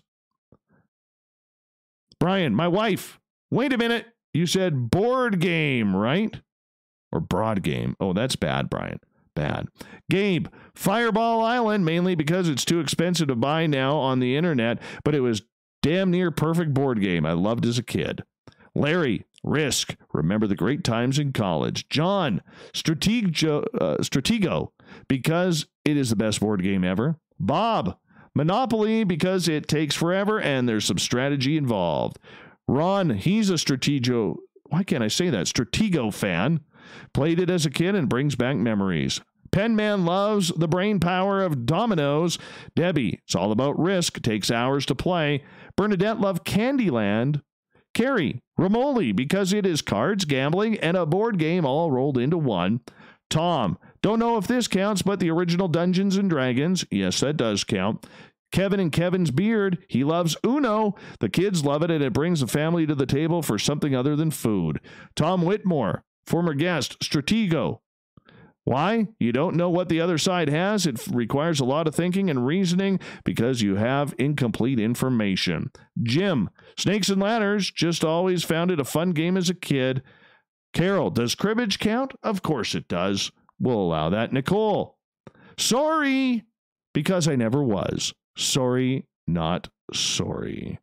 And that's where we're going to leave it for tonight. Thank you so much for everybody participating in the Thought of the Dave. We'll do it again on Facebook and Twitter tomorrow as well. And a big thank you to Captain Shirk for getting our SOR Newswire together. You can find it at spacedoutradio.com, as well as our guest tonight, Micah Hanks. If you haven't read one of Micah's books, please go get it. Also, you can check out his website at micahhanks.com. We got Mr. Ron Bumblefoot Thal rocking in the background with Little Brother is Watching. Bumblefoot is the official music of Spaced Out Radio, rocking us in and out of every single show. Get your horns up for the guitar god himself. Special thanks to everybody taking part in our chat rooms on Facebook, Twitter, at hashtag Spaced Out Radio. Yeah, you're beautifully snarky tonight. Revolution Radio, LGAB, the SOR Space Travelers Club on our website, all of our YouTubers. You guys were absolutely awesome. And Spreaker, we can't forget you lovelies in there. Hi, Sandra. Hi, Sandra. Hi, Sandra.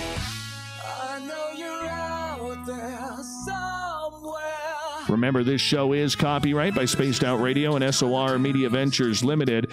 Thank you so much for sharing your evening with us because together, my friends, we own the night. Mr. Bumblefoot, we need a favor. We need you to take us home.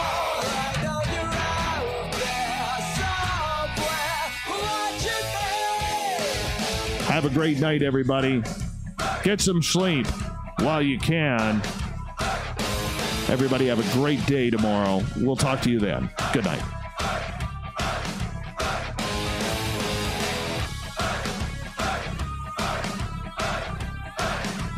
Da, da, da, da.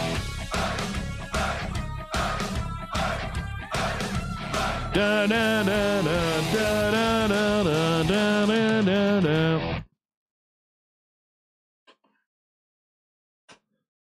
Come on, move it on over.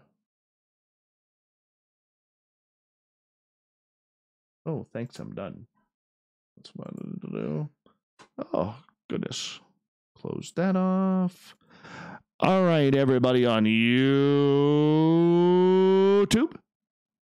I got to cut this short because I have a bunch of editing that I need to do. So bear with me as I got to cut out a little bit early tonight and um, make things happen.